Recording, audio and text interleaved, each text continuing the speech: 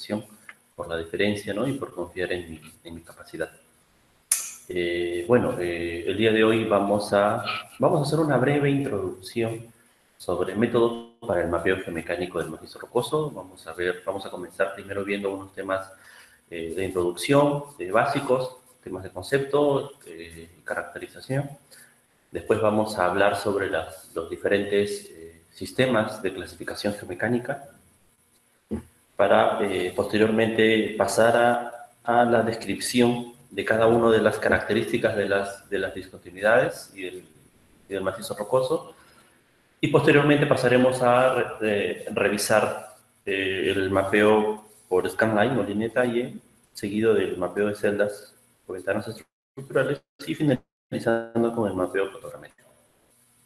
Existen más métodos de mapeo, son los más convencionales, los más usados a, fecha ¿no? en una este, actividad de mecánica de rocas o de ingeniería de rocas.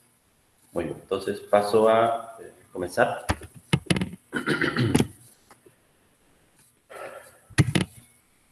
Muy bien. El mapeo geomecánico se usa mucho en la actualidad, no solamente para minería a tajo abierto, open pit, sino también para minería subterránea. Incluso el desarrollo de estudios y proyectos ha abarcado también grandes obras de infraestructura, como puentes, túneles. El análisis y la descripción que da la geomecánica con respecto a la geología es muy importante. ¿Por qué? Porque nosotros como geólogos, cuando desarrollamos nuestros mapas geológicos nuestros, y nuestros reportes, casi toda la información que nosotros generamos es cualitativa, es descriptiva. ¿No? Ponemos el color, la dureza, ¿no? si es el tipo de roca según ciertas este, tablas de clasificación, ¿de acuerdo? El grosor de las capas, etcétera, etcétera, ¿no? Los contactos, las estructuras geológicas, ¿no? La geomorfología. Entonces siempre hacemos una descripción cualitativa. Una diferencia importante cuando empezó lo que es ingeniería de rocas en el siglo pasado fue que se necesitaba tener una descripción cuantitativa de esa información.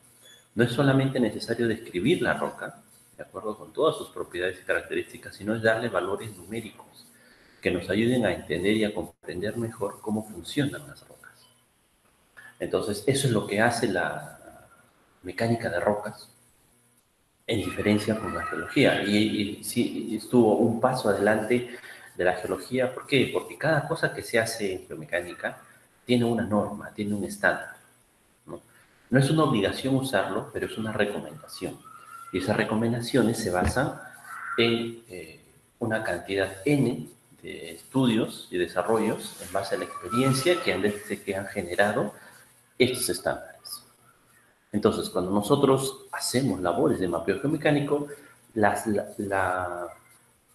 las actividades principales que se realizan son el registro de la totalidad de los datos estructurales en el afloramiento rocoso, tenemos que describir todas esas estructuras que nosotros en ingeniería le llamamos discontinuidades. Tenemos que desarrollar una etapa de muestreo geomecánico con el objetivo de obtener las propiedades físicas y mecánicas de las rocas. No, es solamente ver la roca, apuntar unos datos y listo, no. Eh, tiene que siempre estar entrelazado con información de laboratorio. Eso es muy importante, es un soporte que le da a nuestro trabajo. Así como hay ensayos de laboratorio, también existen ensayos in situ, ¿no? Son ensayos eh, también empíricos, ¿de acuerdo? Los resultados probabilísticamente son de, de menor eficacia que los de laboratorio, pero nos ayudan cuando nosotros hacemos estudios de ingeniería básica. Y finalmente tenemos que nosotros tener, acostumbrarnos a tener un registro fotográfico de toda la información que nosotros tomamos. Registro fotográfico de las estaciones, registro del muestreo, registro fotográfico de la geología. ¿no? Si voy a hacer ensayos in situ, del mapa de Smith, del peine de Barton, del, del, tiltímetro, entonces todo tiene que estar registrado adecuadamente ¿no? y llevar en orden una libreta de campo. Muy bien. Entonces, dentro de, los diferentes métodos de mapeo geomecánico en la actualidad, existen como 14 métodos de mapeo geomecánico. Los más utilizados son dos. pero en los últimos años, con el desarrollo de la tecnología, se ha desarrollado un nuevo método, es bastante joven, se está recién comenzando a, elaborar las bases científicas, ¿no? ya están saliendo equipos específicamente de este tipo, que es el método de teledetección remota o fotogramétrico, como se le conoce. Entonces, el método más convencional usado para el mapeo geomecánico es el método de celdas o ventanas estructurales. Después tenemos el método geomecánico por línea de detalle o scanline. ¿De acuerdo? Y como les comento, el método eh, fotogramétrico. Cada método no, no necesariamente se debe usar en un tipo de estructura o en un tipo de obra. Es decir, yo puedo utilizar tanto, por ejemplo, para un mapear un open pit, el método de celdas o el método de línea de detalle así como para un, galerías de túneles ¿no? o minería subterránea, puedo utilizar ambos métodos. Puedo inclusive combinar ambos métodos. ¿no? no es específico que para taludes se use el scanline y para túneles se utilice el método de ventanas estructurales. Inclusive existe un método de mapeo que se llama el método de arco rebatido, no lo vamos a discutir acá, podemos este, conversarlo más adelante, ¿no? que es un método sí específicamente para túneles con información, para recabar información entre ellos. Pero es un método más estructural, más que geomecánico. Entonces, para poder eh, comenzar el mapeo geomecánico debemos de tener muy bien en claro la escala a la que nosotros vamos a enfrentarnos cuando nosotros trabajemos en campo o cuando desarrollemos un estudio de geomecánica. ¿no? Eh, ¿Por qué es importante la escala? Porque dependiendo de la escala, ¿de acuerdo? Las propiedades y las características del macizo rocoso van a variar. Tenemos, por ejemplo, en este sector, tenemos un pequeño túnel. Este es un túnel ficticio, no existe este túnel, ¿de acuerdo? es una fotografía de un afloramiento en la ciudad de Lima, muy conocido, sur de Lima, Chorrillos. ¿no? Este es un pequeño túnel que se ha recreado. Entonces, cuando nosotros trabajamos a esta pequeña escala, ¿de acuerdo? estamos hablando de una roca intacta. Es decir, estamos hablando de una roca que no presenta discontinuidad. ¿Eso qué quiere decir? Que no existen fracturas, no existen estructuras que cortan a la roca. Entonces, cuando nosotros hablamos de roca intacta, hablamos de ensayos de laboratorio. Cuando nosotros realizamos el muestreo para ensayos de laboratorio, la muestra tiene que ser, tiene que ser uno, fresca, ¿de acuerdo? sin alteración química, no tiene que estar meteorizada y no tiene que ser cortada por fallas o por fracturas. ¿De acuerdo? Entonces, ahí por eso decimos roca intacta. Y a medida que nosotros ampliamos nuestra escala de mapeo, si se dan cuenta, entonces a medida que yo amplío mi escala, entra empieza a entrar las diferentes familias de discontinuidades o diaplances. Que los vamos a ver más adelante para finalmente, cuando yo hago un trabajo de gran envergadura, ¿de acuerdo? Es decir, en un área bastante grande el mapeo, ya no estamos hablando de roca intacta, sino estamos hablando del macizo rocoso. Sí, esto es importante. Dentro de las partes importantes de la geomecánica necesitan comprender bien esto, entenderlo bien. Entonces, ¿qué es el macizo rocoso? Miren, el macizo rocoso, por teoría, sabemos que es la roca intacta, es la roca no fracturada, fresca, no meteorizada ni alterada, ¿de acuerdo? Que contiene discontinuidades. Entonces a eso nos referimos con el macizo rocoso. Por eso el título de la charla se llama Mapeo geomecánica, geomecánico del macizo rocoso, no de la roca intacta. Cuando hablamos de roca intacta estamos hablando de ensayos de laboratorio. ¿Sí? Lo que nosotros mapeamos es, la, es el macizo rocoso, es decir, la roca intacta con discontinuidades. ¿De acuerdo? Entonces, tengan siempre presente esto, cuando avancemos este, las diapositivas, se van a dar cuenta la importancia de esta parte. Muy bien. Entonces, en ingeniería, ¿de acuerdo? Hay ciertos choques que se tienen con la geología general. Uno de ellos es, por ejemplo, el tema de lo que nosotros llamamos discontinuidades. Nosotros como geólogos, bueno, yo soy geólogo, nosotros sabemos que existe existen estructuras denominadas discontinuidades, ¿no? Son las discontinuidades erosivas, las discontinuidades angulares, ¿sí? que se refieren a estructuras que se forman en, rocas sedimentarias. Pero también en ingeniería se utiliza el término discontinuidad, no solamente en español, sino también en inglés.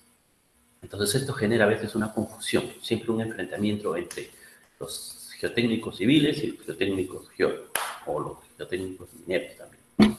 Entonces veamos, veamos el origen de esta, de, esta, de esta denominación. Cuando nosotros tenemos una roca, ¿de acuerdo? Observan esta muestra de roca. Esta roca es uniforme, ¿sí? Entonces podríamos decir que este cuerpo, hablando físicamente, este cuerpo es isotrópico. ¿A qué nos referimos cuando decimos que un cuerpo es isotrópico? Nos referimos a que cualquier propiedad, ¿de acuerdo? Mecánica y física de esta muestra es similar en cualquier parte. Es decir, si yo saco un bloque aquí y mido su densidad, mido su resistencia, mido su dureza y saco otro bloque pequeño por acá, los resultados de esas propiedades físicas van a ser similares. Entonces, si tenemos un gran afloramiento rocoso, ¿de acuerdo?, que no presente estas este, discontinuidades, entonces estamos hablando que esta roca es un medio continuo, isotrópico. ¿De acuerdo? A eso hablamos con eh, continuidad isotrópica. En cambio, cuando yo tengo ese afloramiento, supongamos otro sector de ese mismo afloramiento, de ese mismo tipo de roca, y ya observo estructuras, estructuras como por ejemplo fracturas, fallas, pliegues, estratificación, porque la estratificación también son discontinuidades, entonces este medio continuo se convierte en un medio discontinuo. Ya no es isotrópico, sino es anisotrópico. Si yo saco una muestra en ese sector, ¿de acuerdo? Y analizo sus propiedades físicas, por ejemplo, la densidad, saco una muestra en esta esquina, donde está la conjunción de estas dos fracturas, las densidades ya no van a ser las mismas. ¿Por qué? Porque por estas fracturas pasa agua, hay relleno, ¿de acuerdo? Es una, zona más erosiva, hay oxidación, los minerales, este, por ejemplo, sulfurados, se empiezan a oxidar, entonces las densidades de ambos puntos ya no van a ser las mismas. Entonces ya tenemos un cuerpo anisotrópico. Entonces se vuelve esta roca discontinua. Por eso estas estructuras que cortan a la roca se le conoce en ingeniería, en ingeniería de rocas, como discontinuidad. ¿Sí? Y ahí viene siempre el enfrentamiento, como les comentaba, entre la, con la, geotecnia y la geología. Muy bien. Entonces, cuando nosotros trabajamos en un afloramiento rocoso, tienen que tener en consideración dos cosas. Que el macizo rocoso siempre va a ser discontinuo y va a ser anisotrópico. ¿De acuerdo? Entonces, ¿qué quiere decir esto? ¿Y por qué es importante tener en consideración? Porque si yo estoy, por ejemplo, yo debo de mapear este talud, imagínense que es un talud, ¿de acuerdo? Esta, la altura de este talud tiene, supongamos, 50 metros de altura, no me va a convenir a mí hacer el mapeo solo de este sector o caracterizar geomecánicamente este sector. ¿Por qué? Porque yo voy a tener ciertas propiedades físicas y mecánicas de la roca aquí, pero estas propiedades no van a ser similares en este sector, en la parte superior de esta luz. Entonces, ¿eso qué quiere decir? Eso me va a involucrar al poder elegir el mejor método de mapeo geomecánico. ¿De acuerdo? Entonces, este afloramiento rocoso, este macizo rocoso, es un medio, siempre va a ser un medio discontinuo y anisotrópico. Entonces, cuando un geólogo o un geomecánico, un minero, un civil, quiere desarrollar el mapeo, tiene que tener en consideración estos dos términos que son importantes. Ya van dos conceptos importantes. El primer concepto es de preciso rocoso, ¿de acuerdo? El segundo concepto es de que todo afloramiento es discontinuo y anisotrópico. Esto nos va a ayudar a determinar el mejor método de mapeo. ¿De acuerdo? Cuando nos enfrentemos a un afloramiento. Muy bien. Existen algunos principios generales para desarrollar la clasificación geomecánica. El mapeo geomecánico tiene como objetivo clasificar a la roca geomecánicamente. Dicho de otras palabras, tenemos que darle un valor numérico a la roca. Si nosotros utilizamos la clasificación geomecánica de Winaski, entonces vamos a darle a la roca, el, lo vamos a cuantificar desde 1 hasta 100 donde uno nos indicaría una roca muy mala, pésima, en malas condiciones, inestable, taludes inestables, túneles que empiezan a derrumbarse, hasta roca valor 100, que me indica una roca de calidad excelente, muy buena, con taludes de 200, 300 metros y solamente hay pequeños bloques de caída de roca. ¿De acuerdo? Entonces, si uno evalúa dónde construir un túnel, definitivamente, ¿de acuerdo? Preferiría construir un túnel sobre una roca cuya calidad es buena, muy buena. Pero lamentablemente en la realidad no es así. A veces eh, se encuentra un yacimiento minero, se tiene que construir túneles, se tiene que construir un tajo, y las condiciones no son las mejores, ¿no? En este caso, pues nosotros tenemos, eh, el minero quiere construir y sacar el mineral, y el geomecánico le dice, mira, necesito que me diseñes mi tajo, pero ese diseño tiene que tener el mínimo de riesgo crítico de deslizamiento o caída de bloques. Entonces ahí nosotros sentamos a tallar, ¿no? Y tenemos que trabajar, no importa en zonas que son muy inestables. Y para eso se, dependemos, ¿no? gracias a, la experiencia de estudios anteriores, de acuerdo, de estándares y protocolos bastante bien establecidos y probados. Entonces, eh, para tener en consideración algo importante, ¿no? los principios generales de toda clasificación geomecánica se refiere. Entonces, como les decía chicos, son relaciones empíricas, observacionales y en base a la experiencia. O sea, han venido mucha gente detrás de nosotros, ¿de acuerdo? Han probado innumerables métodos y los métodos que les han funcionado los han dejado para que nosotros sigamos la evaluación. Por eso son empíricos, son en base a la experiencia. Nosotros utilizamos parámetros de sencilla identificación. Utilizamos la orientación, el rumbo, el lanzamiento, la separación entre las estructuras, de acuerdo a su apertura, su persistencia, la longitud total, si están meteorizadas, si tienen agua o no. Entonces, estos parámetros son sencillos y son fáciles de aplicar. ¿de acuerdo? Tanto así que en algunas minas, ¿de acuerdo? Eh, eh, capacitan a los técnicos, que no necesariamente son ingenieros, para que desarrollen un mapeo geomecánico, simplemente que realicen el registro de la información en campo, mientras que ya el geomecánico, el ingeniero, ya desarrolla la interpretación en base a la información. A partir de la década del 70 se ha hecho un gran desarrollo de las clasificaciones geomecánicas. Antes se tenían cada país prácticamente seguía un registro de clasificación, pero a partir de la década del 70 se empezaron a unificar con los famosos métodos de clasificación que han tenido una gran difusión.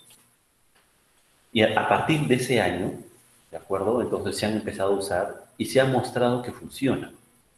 Es decir, indicaban poner sostenimiento, indicaban poner muro, ¿de acuerdo? Indicaban poner pernos de anclaje, chóteres, mallas. Entonces, los resultados de esas clasificaciones eran convincentes ¿no? y eran eficientes. Entonces, por eso, ¿de acuerdo? Ayudó esta gran difusión de esta información. Claro, como todo método de ingeniería tiene cierta limitación. ¿De acuerdo? Entonces, no, no se acostumbren a desarrollar un solo método, ¿no? no se acostumbren a trabajar en un solo tipo de roca. ¿Qué quiero decir? Por ejemplo, las, los túneles más inestables son hechos en las rocas sedimentarias, mientras que los túneles en rocas eh, ígneas, en rocas volcánicas, son las de mejor estabilidad. Inclusive a veces ni se necesita ningún tipo de sostenimiento. ¿no?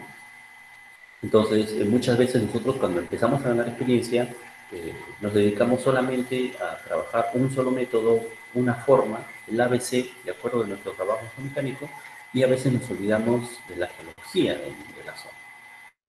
Entonces no es lo mismo trabajar en una limonita, en una nutita, hacer un túnel en una nutita, que hacer un túnel en un granito. Entonces tengo que cambiar los métodos, inclusive tengo que utilizar otros ensayos de laboratorio diferentes. Me dan resultados distintos, parámetros y lo que les decía, ¿no? la clasificación geomecánica, que es importante, nos ayuda a cuantificar el macizo. Nos da valor, nosotros al constructor le vamos a dar un número. Y él en base a ese número va a decir, ah, ya, si la roca tiene esta calidad, entonces ya sé qué ángulo de talud debo de poner a mitad. Si tengo esta calidad de roca y este es el tipo de roca, entonces ya sé lo que tengo que hacer. Muy bien. Tercer punto importante en el mapeo geomecánico. ¿De acuerdo? Tercer punto importante, no se olviden. Dos términos, muchachos, que a mí me han ayudado un montón en mi experiencia y que me han salvado y me han resuelto, no me han salvado, sino me han resuelto muchos problemas. ¿Sí? Lamentablemente al mecánico lo llaman cuando hay problemas. Cuando ya han construido el tajo y hay problemas de inestabilidad. Cuando han construido la carretera y hay, hay zonas de caída de rocas constantemente cada vez que llueve. ¿De acuerdo? O el puente está en el, el cimiento del puente o de la estructura está empezando a colapsar. O la ribera del río está fallando. ¿Sí? Entonces, eh, siempre pasa eso. Entonces, para que ustedes tengan seguridad de sus estudios, tienen que tener en consideración dos términos muy importantes. Es el término característico y el término conservador. Lo vamos a ver más adelante cuando hablemos de las descripciones de las discontinuidades. Dos términos. El término característico y el término conservador. Muy bien. Entonces, este es un resumen de todo lo que les he estado hablando hasta ahora. ¿Sí? Muy bien. Entonces, ¿qué es lo que hacemos nosotros como mecánicos? Nosotros entramos parámetros cualitativos, desarrollamos un método empírico y tenemos como salida parámetros cuantitativos. Esos parámetros cuantitativos se resumen en la calidad de la roca. Y esto es en términos constructivos. ¿De acuerdo? ¿Y cuál sería el objetivo de nuestro trabajo? Si te preguntan, ¿cuál es el objetivo de un mecánico? El objetivo es conservar y controlar la estabilidad de las excavaciones, sean subterráneas o superficiales. ¿De acuerdo? Entonces, no necesariamente puede ser un objetivo. Podemos trabajar en una carretera y tenemos que generar un talud, tenemos que hacer un corte. ¿no? Entonces, nuestro objetivo, nuestro objetivo es trabajar ¿de acuerdo? Sobre la estabilidad de esas excavaciones. Que no tengan problemas de derrumbe, que no haya zonas críticas, que no haya chispeo de roca, que no haya estallido de roca. ¿De acuerdo? Ahora, y si no lo podemos evitar, porque la naturaleza a veces nos va a pasar, entonces tenemos que saber controlar esos problemas. Los problemas, muchachos, siempre van a existir. ¿De acuerdo? Entonces, lo que tenemos que hacer es saber enfrentar esos problemas. Y la experiencia de, de ingenieros de acuerdo, de, científicos, nos ayudan, de acuerdo, con sus formatos y estándares. Muy bien. Hablemos un poquito de la historia de la clasificación geomecánica. ¿De acuerdo? Los métodos de clasificación geomecánica, como les comenté, si ustedes se dan cuenta, se desarrollaron fuertemente en la década del 70. Pero no comenzó en la década del 70, comenzó después de la Segunda Guerra Mundial. ¿Por qué después de la Segunda Guerra Mundial? Porque después de esta nefasta guerra hubo que construir muchas, o reconstruir muchas estructuras, muchos puentes, muchos, muchos caminos adentro inservibles, ¿de acuerdo? Muchos edificios, entonces se tuvieron que empezar a desarrollar diferentes métodos. ¿sí? Estos primeros métodos, estos tres primeros métodos, no fueron tan muy difundidos.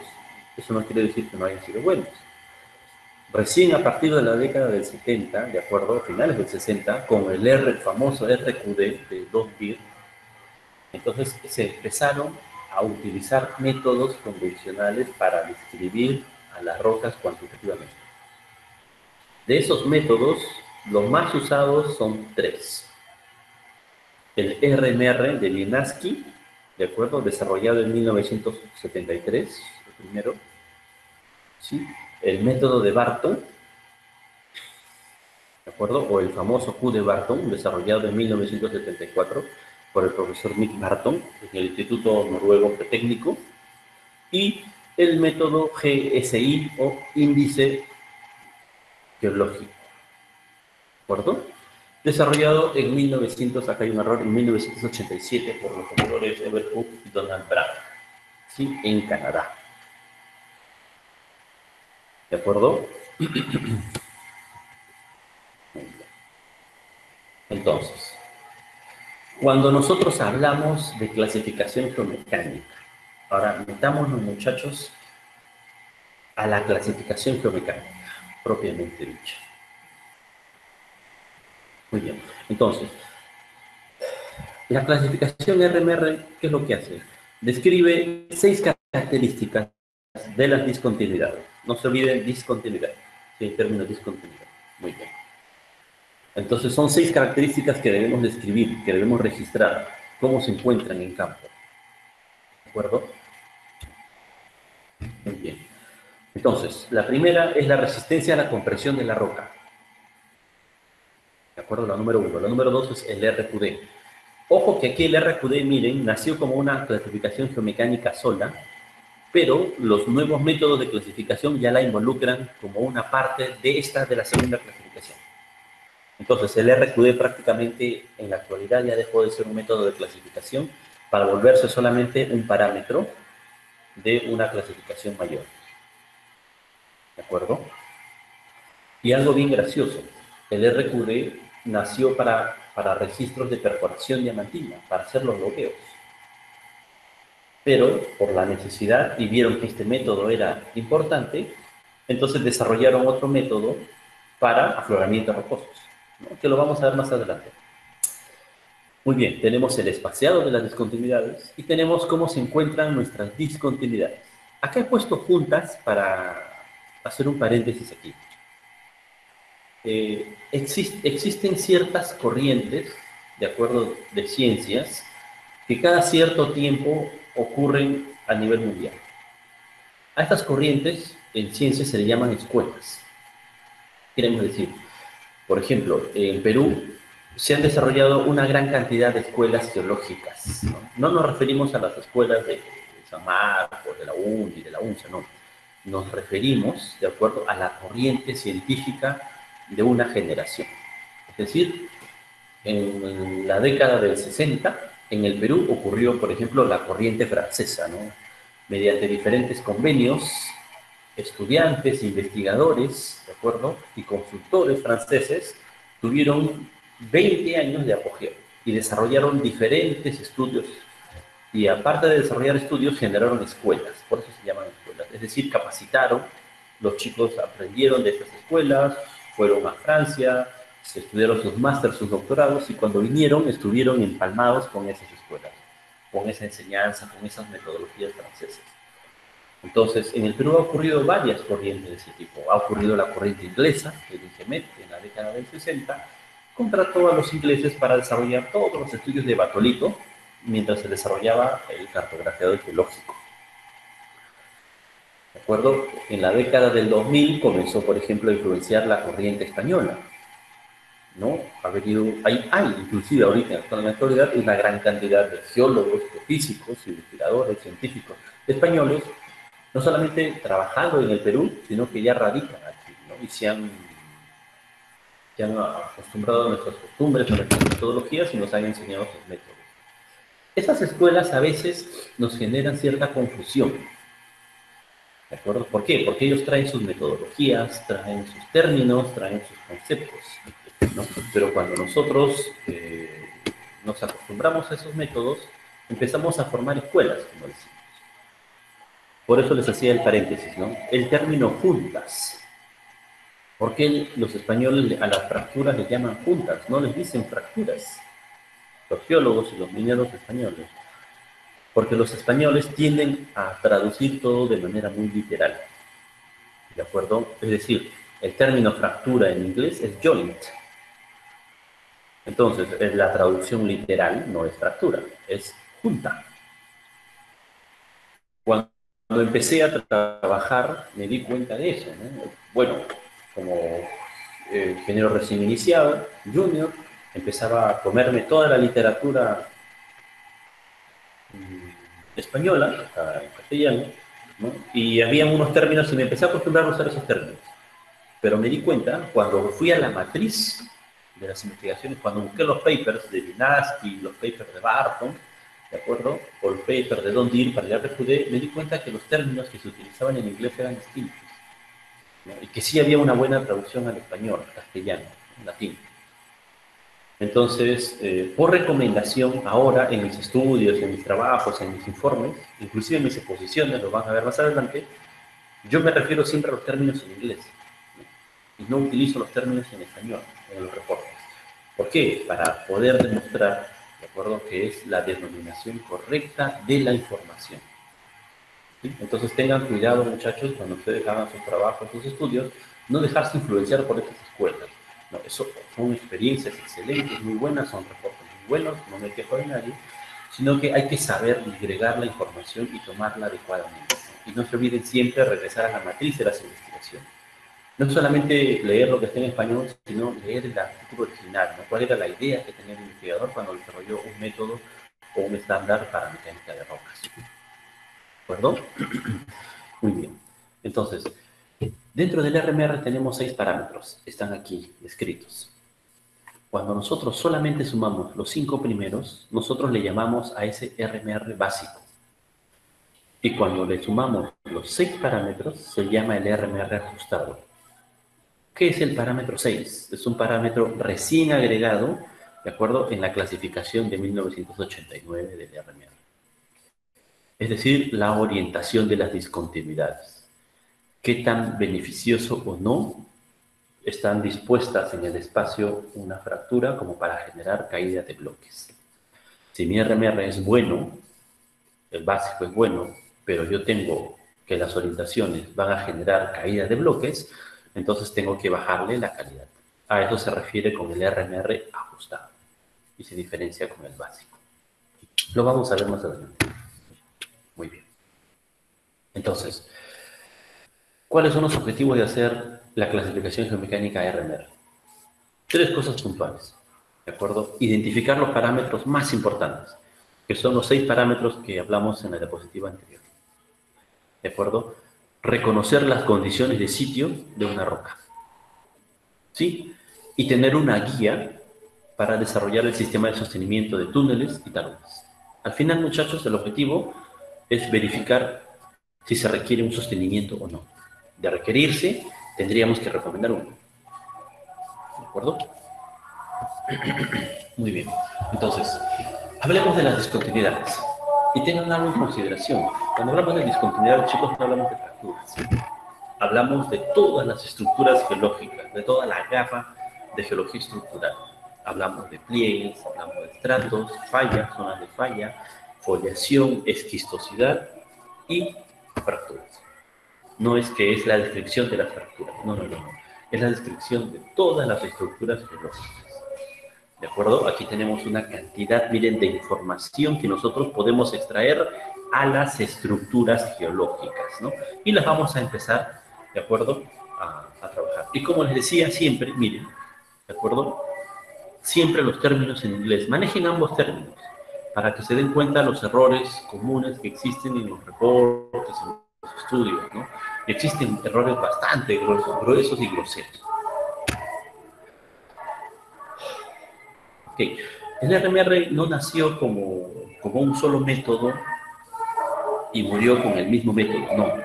El RMR, a lo largo de la historia, ha habido, ¿de acuerdo?, diferentes adaptaciones, diferentes actualizaciones. El RMR nació en 1973 con la publicación de Vinaski sobre clasificación geomecánica. Pero como se hizo muy popular esta clasificación, todo el mundo empezó a leerla y a utilizarla en su mina, en su mina, en su talud. Entonces empezaron a, mandarle correos, a mandarle correos escritos, a mandarle llamadas, preguntándole, mira, he hecho esto en este tal sitio, no me ha resultado así, creo que deberías ajustar este valor. Y así sucesivamente. Entonces, los dos métodos en la actualidad más usados para clasificación geomecánica son el de 1973 y el de 1989. ¿De acuerdo? Entonces, miren una cosa. ¿Cuál es la diferencia entre ambos? Ambos se usan en la actualidad, dependiendo del escenario de la roca. Es decir, cuando yo tengo una roca seca, cuyas discontinuidades o las orientaciones de las discontinuidades no me generan un gran problema, yo debo utilizar el método de clasificación de 1973. Pero si yo tengo una roca, por ejemplo, mm, que tiene problemas de agua, tiene infiltración, tiene perforación, en un túnel se ve eso, ¿de acuerdo? O en el talud se ve eh, una zona húmeda, ¿de acuerdo? Y las, las orientaciones, el strike, el rumbo y buzamiento de las estructuras me pueden generar caídas, entonces debo utilizar el método de 1989. Acá lo que se tiene es el valor. Yo les dije que el RMR va de, de 1 a 100. Entonces, sumando cada uno de estos parámetros, yo voy a tener el valor de calidad de la roca. ¿De acuerdo? Entonces, estos dos métodos son más usados, pero dependiendo del escenario en el que yo me enfrente. ¿Sí? Eso para que lo tengan en consideración. Por eso en la parte superior yo estoy poniendo ambos métodos, porque son los más usados. Y en los intermedios hay pequeños ajustes que se han tenido a lo largo de la historia, ¿no? pero que ya han ido quedando en desuso. Muy bien, entonces, comencemos, ¿de acuerdo? Con la clasificación geomecánica RMR. No estamos hablando todavía de mapeos. El tema de mapeo geomecánico propiamente dicho lo vamos a ver al final. Lo que vamos a ver ahorita es vamos a ver la descripción de esos seis parámetros que les comenté para el RMR.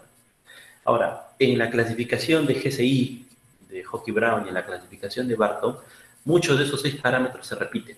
Entonces, explicarlos ahora nos va a ayudar para entenderlos después los otros, eh, los otros sistemas de clasificación. ¿De acuerdo? Entonces, cuando hablamos de resistencia a la compresión, nosotros tenemos dos grandes grupos. Tenemos los ensayos in situ y tenemos los ensayos de laboratorio, que requieren muestreo de la roca en campo, traslado hasta el laboratorio, hacer el ensayo y tener un resultado numérico. ¿De acuerdo? ¿Cuál es la diferencia entre ambos? Es la probabilidad de eficiencia. Es decir, si yo voy a hacer un estudio, supongamos, a nivel básico, de prefactibilidad o conceptual, ¿de acuerdo? En donde el presupuesto que, no que tengo es muy poco, entonces yo puedo hacer ensayos in situ, utilizando el esclerómetro Martí Smith o utilizando mi picota, ¿de acuerdo? Para tener valores referenciales. El valor de probabilidad de eficiencia es más bajo, pero como los ensayos son muy básicos, entonces son suficientes. Mientras que para los ensayos de laboratorio estamos hablando de ya ensayos de factibilidad, ensayos de ingeniería básica o ingeniería de detalle, hasta el nivel de definitivo, ¿sí? incluyendo ya especificaciones técnicas y ya, o sea, que la obra ya se va a construir, que el tajo o el túnel ya se van a empezar a construir y ya se requieren ensayos mucho más exactos. ¿De acuerdo? Esa sería la diferencia entre ambos. Veamos cuáles son esos, este, cómo nosotros obtenemos esos valores. ¿De acuerdo? Acá tenemos, por ejemplo, para el tema del martillo Smith, el primer ensayo in situ que vamos a desarrollar acá, ¿no? cómo nosotros podemos determinar la resistencia de la roca con el martillo del geólogo, con, con, una moneda, con una cuchilla. ¿no? Entonces, como les comenté al principio, yo acostumbro siempre, muchachos, tener la, a la mano el inglés de base y el español. ¿De acuerdo? Entonces, acá no, no, no gusto de usar tablas en español. ¿Por qué? Porque, y esto de acá lo he sacado del artículo original que se desarrolló, ¿de acuerdo? Eh, esta tabla, porque me ayuda a entender mejor, a comprender mejor. Sí, y a mí ya nadie, ya nadie me puede engañar. Entonces, ¿qué es lo que dice? Dice que tú con el martillo, de, con tu picota, simplemente, dependiendo de la cantidad de golpes que le des, si la roca se va a romper o no. Por ejemplo, ¿no? Tú puedes eh, a la roca golpearla innumerables oportunidades. Y la roca, después de varios golpes firmes, fuertes, recién se va a romper. Entonces, tú estarías hablando ¿de acuerdo? De valores de compresión uniaxial, o sea, la, comparación con los dos laboratorios entre 100 a 250 megapascales. Entonces tu roca es muy fuerte, ¿de acuerdo? Es muy resistente. En cambio, si tú tienes una roca, ¿de acuerdo? Y tú con la picota o con un cuchillo le generas la raya y generas una raya y se hunde, ¿de acuerdo? entonces tus valores de compresión uniaxial van a ser de 1 a 5 megapascales, ¿no? su equivalencia. Entonces es una roca muy débil. ¿Sí? Entonces una roca media que va de 25 a 50 megapascales sería, por ejemplo, de acuerdo, que si tú lo rayas con la cuchilla no le haces nada. Más bien le sacas filo a la cuchilla. ¿De acuerdo? Entonces así tenemos todos estos parámetros. Inclusive el autor pone acá algunos tipos de roca, ¿de acuerdo? Asociados a estas resistencias. Esto es usando el martillo de geólogo en campo. No necesito un muestreo, no necesito un ensayo de laboratorio. El más básico. Después tenemos el segundo para resistencia. Estamos en el parámetro número uno de la clasificación RMR. De acuerdo, tenemos el martillo Smith o el esclerómetro. ¿no? Lo que determina el esclerómetro es el JCS, es el Joint Compressive Strength. ¿Sí? Entonces, ¿qué es lo que hace el esclerómetro? También se usa, existen dos tipos, existe el R, el, R y el L, ¿de acuerdo? Uno es usado para rocas y el otro es usado para concreto. Cuando ustedes quieran utilizar el esclerómetro, eh, pidan, ¿de acuerdo? Que les den eh, el esclerómetro específico para roca, ¿no? Porque a veces existe también el proceso para eh, probar la resistencia del concreto, que eso es más para construcciones civiles. ¿De acuerdo? Entonces, ¿qué es lo que hace el martillo? El martillo tiene una punta retráctil, ¿de acuerdo? Que cuando yo golpeo a, la pared de mi discontinuidad, este va a generar un rebote interno y me va a dar un valor numérico, ¿de acuerdo? Este es el analógico, ¿sí? Por el pequeño resorte me va a dar dónde va a caer aquí el valor, ¿sí? Existen los digitales que ya me transforman la información a megapascales, ¿sí? Y ya no inclusive se utiliza este abaco, ¿no? ya se tiene ya convertido la información. Entonces, ¿qué es lo que hace esto? Por ejemplo, este abaco que está acá es bastante útil para esto, ¿no? Yo genero un valor, de acuerdo, de resistencia, que me va a dar acá, eh, en esta pantallita, sea analógico o digital. Me va a decir, por ejemplo, si yo tengo una fractura vertical, ¿no? Si yo tengo una fractura, de acuerdo, que es horizontal, ¿no? Dependiendo, ven, como por ejemplo acá este está en ángulo de 45 grados con respecto al horizonte, ¿de acuerdo? Entonces el rebote dice no va a ser el mismo, por eso son estos valores, estas líneas, estas escalas, ¿no?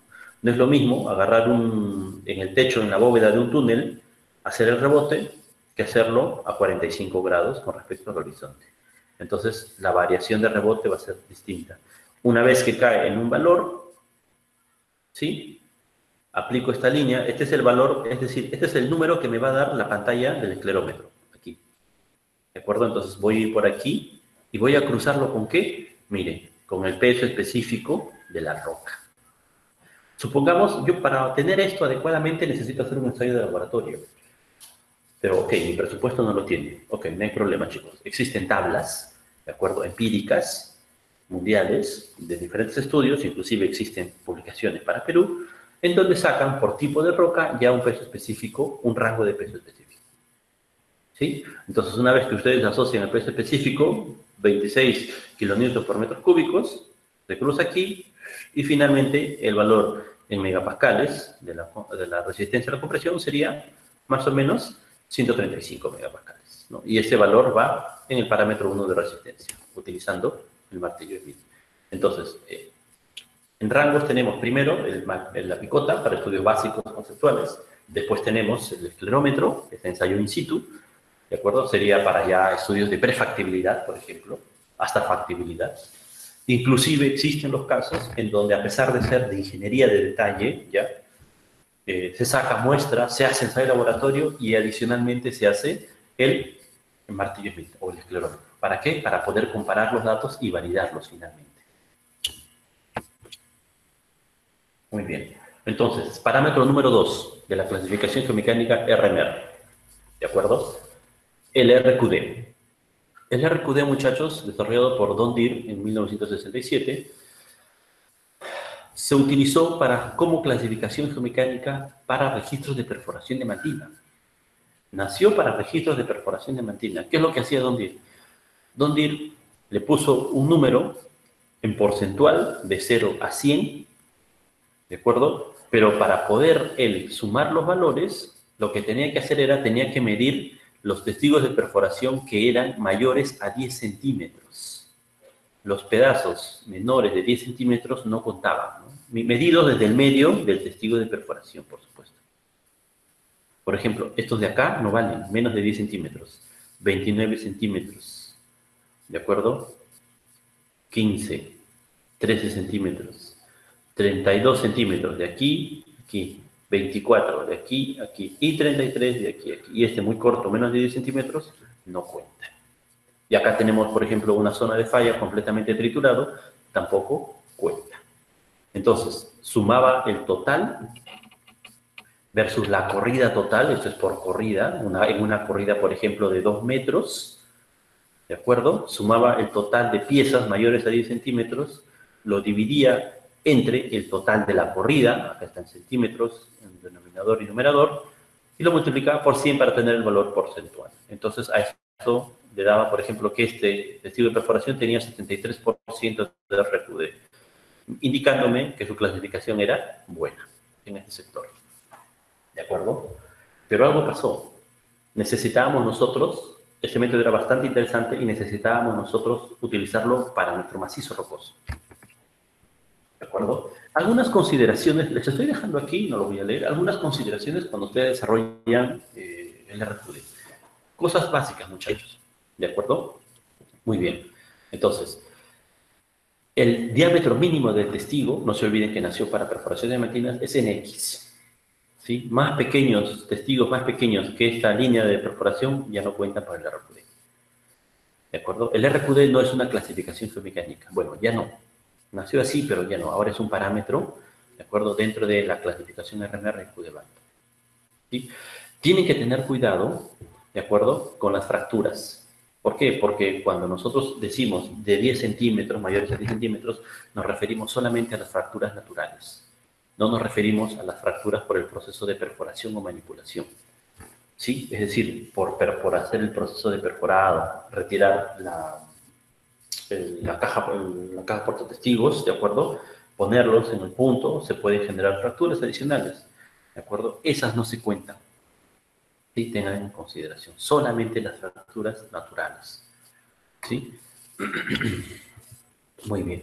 Les estoy dejando acá los diferentes métodos. Esta es una tablita que yo desarrollé.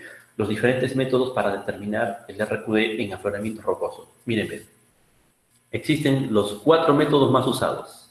Esto lo hice en una hojita de Excel. Les estoy poniendo aquí la fórmula para que si ustedes gusten lo puedan desarrollar. ¿De acuerdo? Hacen una hoja de Excel ¿sí? Ponen acá, por ejemplo, eh, el, método que yo les recomiendo y que por convención se usa cuando se hace el RQD en afloramientos es el método de Palmström del 2005. ¿Sí? Es esta fórmula de acá. Este, esta fórmula es mucho mejor que la de Barton del 74 y la de Christian Huston del 76. ¿Sí? Esta se ajusta más a la realidad por diferentes estudios. Entonces, cuando yo hago mis trabajos, esta es la que más utilizo. ¿De acuerdo? Entonces, eh, he hecho esta tablita para ayudarme, por ejemplo, ¿no? Entonces, para no estar haciendo el cálculo, ya lo tengo acá calculado. Yo llevo este, esta hoja, la llevo a, campo, ¿no? Entonces empiezo a ver, ¿no? ¿Cómo es el espaciado, por ejemplo? Yo he hecho esta relación, ¿no? ¿Cómo es el espaciado en las rocas, ¿no? Por ejemplo, si yo tengo un espaciado de 30 centímetros, entonces eso quiere decir que en un metro ¿Cuántas fracturas voy a tener? Tres. Muy bien, entonces si este es mi caso, me voy a, mi lista, a mi valor, y el RQD de ese tramo del afloramiento sería 88%. Si yo tengo, por ejemplo, un espaciado de 2 centímetros, de 20 centímetros, esto está en metros, los metros, de 20 centímetros, ¿no es cierto? Entonces, ¿cuántas fracturas voy a tener por metro? 5. ¿De acuerdo? Entonces, ¿cuántas fracturas tendría? Esto es en un, en, un, 2D. En 3D, ¿cuántas tendría? De 14 a 15. ¿no? En 3D. En, fracturas por metro cúbico, fracturas por metro lineal. ¿De acuerdo? Entonces, esto, ¿qué valor me da de RQD? 75%, según el método de Palmström. ¿Sí? Entonces, eh, eh, utilicen esta, este, este, cuadrito, aquí están las fórmulas, en su Excel, ¿de acuerdo? Mejoren los chicos, todo es mejorable, todo es perfeccionable, ¿de acuerdo? Esta es una referencia que yo utilizo, ya lo llevo llevando varios años y me ha funcionado muy bien, para valor de RQD, ¿de acuerdo? Muy bien. Continuando la descripción de las discontinuidades, el parámetro número 3 es el espaciado. El espaciado, muchachos, se refiere, ojo, ¿de acuerdo? Al espaciado que existe entre un plano de fractura paralelo y otro. Ojo, paralelo. Y el espaciado se mide perpendicular a los dos planos de fractura. Perpendicular. ¿De acuerdo? No horizontal. ¿no? Porque voy a tener un espaciamiento aparente. Sino tiene que ser el espaciado perpendicular, ¿de acuerdo? Al, a los planos de fracturas. Muy bien. Entonces, para que tengan en consideración, capas más gruesas, hablando de rocas sedimentarias, por ejemplo, las capas más gruesas, los estratos más gruesos tienen un espaciado menor. Capas más delgadas tienen un mayor espaciado. Entonces, el espaciado no solamente eh, se refiere al grado de deformación, sino también al espesor de rocas. Esto específicamente, ojo, para rocas sedimentarias, ¿no? O para rocas eh, volcánico-sedimentarias, ¿de acuerdo? Que presentan pseudoestratificación. Entonces, flujos volcánicos sedimentarios más gruesos me, va, me van a dar espaciados más separados, ¿sí? El sistema de, de espaciamiento de las estructuras. ¿Sí? Aquí les dejo una tablita bastante interesante que encontré hace poco cuando estaba buscando un poco de bibliografía, en donde habla de la relación, miren, entre el espaciado de las fracturas, ¿de acuerdo? Versus el grosor de los estratos, todas en rocas sedimentarias. Es lo mismo que está acá, pero especificado en gráficos. Y aquí se encuentran las referencias de este trabajo, si ustedes quieren eh, ahondar más en esta parte. Entonces, eh, es exponencial. Entonces, a medida que la capa aumenta en grosor, el espaciado, ¿de acuerdo?, va a disminuir. ¿Sí? Estos tres es lo mismo. Esta es la curva generacional con los datos de campo, ¿de acuerdo? Este sería un ajuste probabilístico más lineal y esto sería las tendencias, las regresiones lineales de estas curvas, de estas variaciones. Muy bien, la persistencia. La persistencia se refiere a la longitud total de las fracturas en el afloramiento rocoso. ¿De acuerdo? Cuando yo mido la persistencia o hablo de persistencia, me refiero a qué tan larga es ese sistema de fracturas. ¿De acuerdo?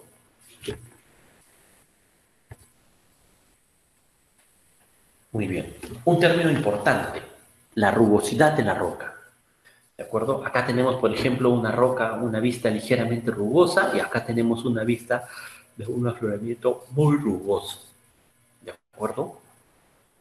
Esto hasta aquí está bien, es sencillo, ¿de acuerdo? Inclusive, antes, al principio, yo en campo iba al campo y veía, pasaba la mano, ah, es más o menos rugoso, ponía ya, ligeramente rugoso.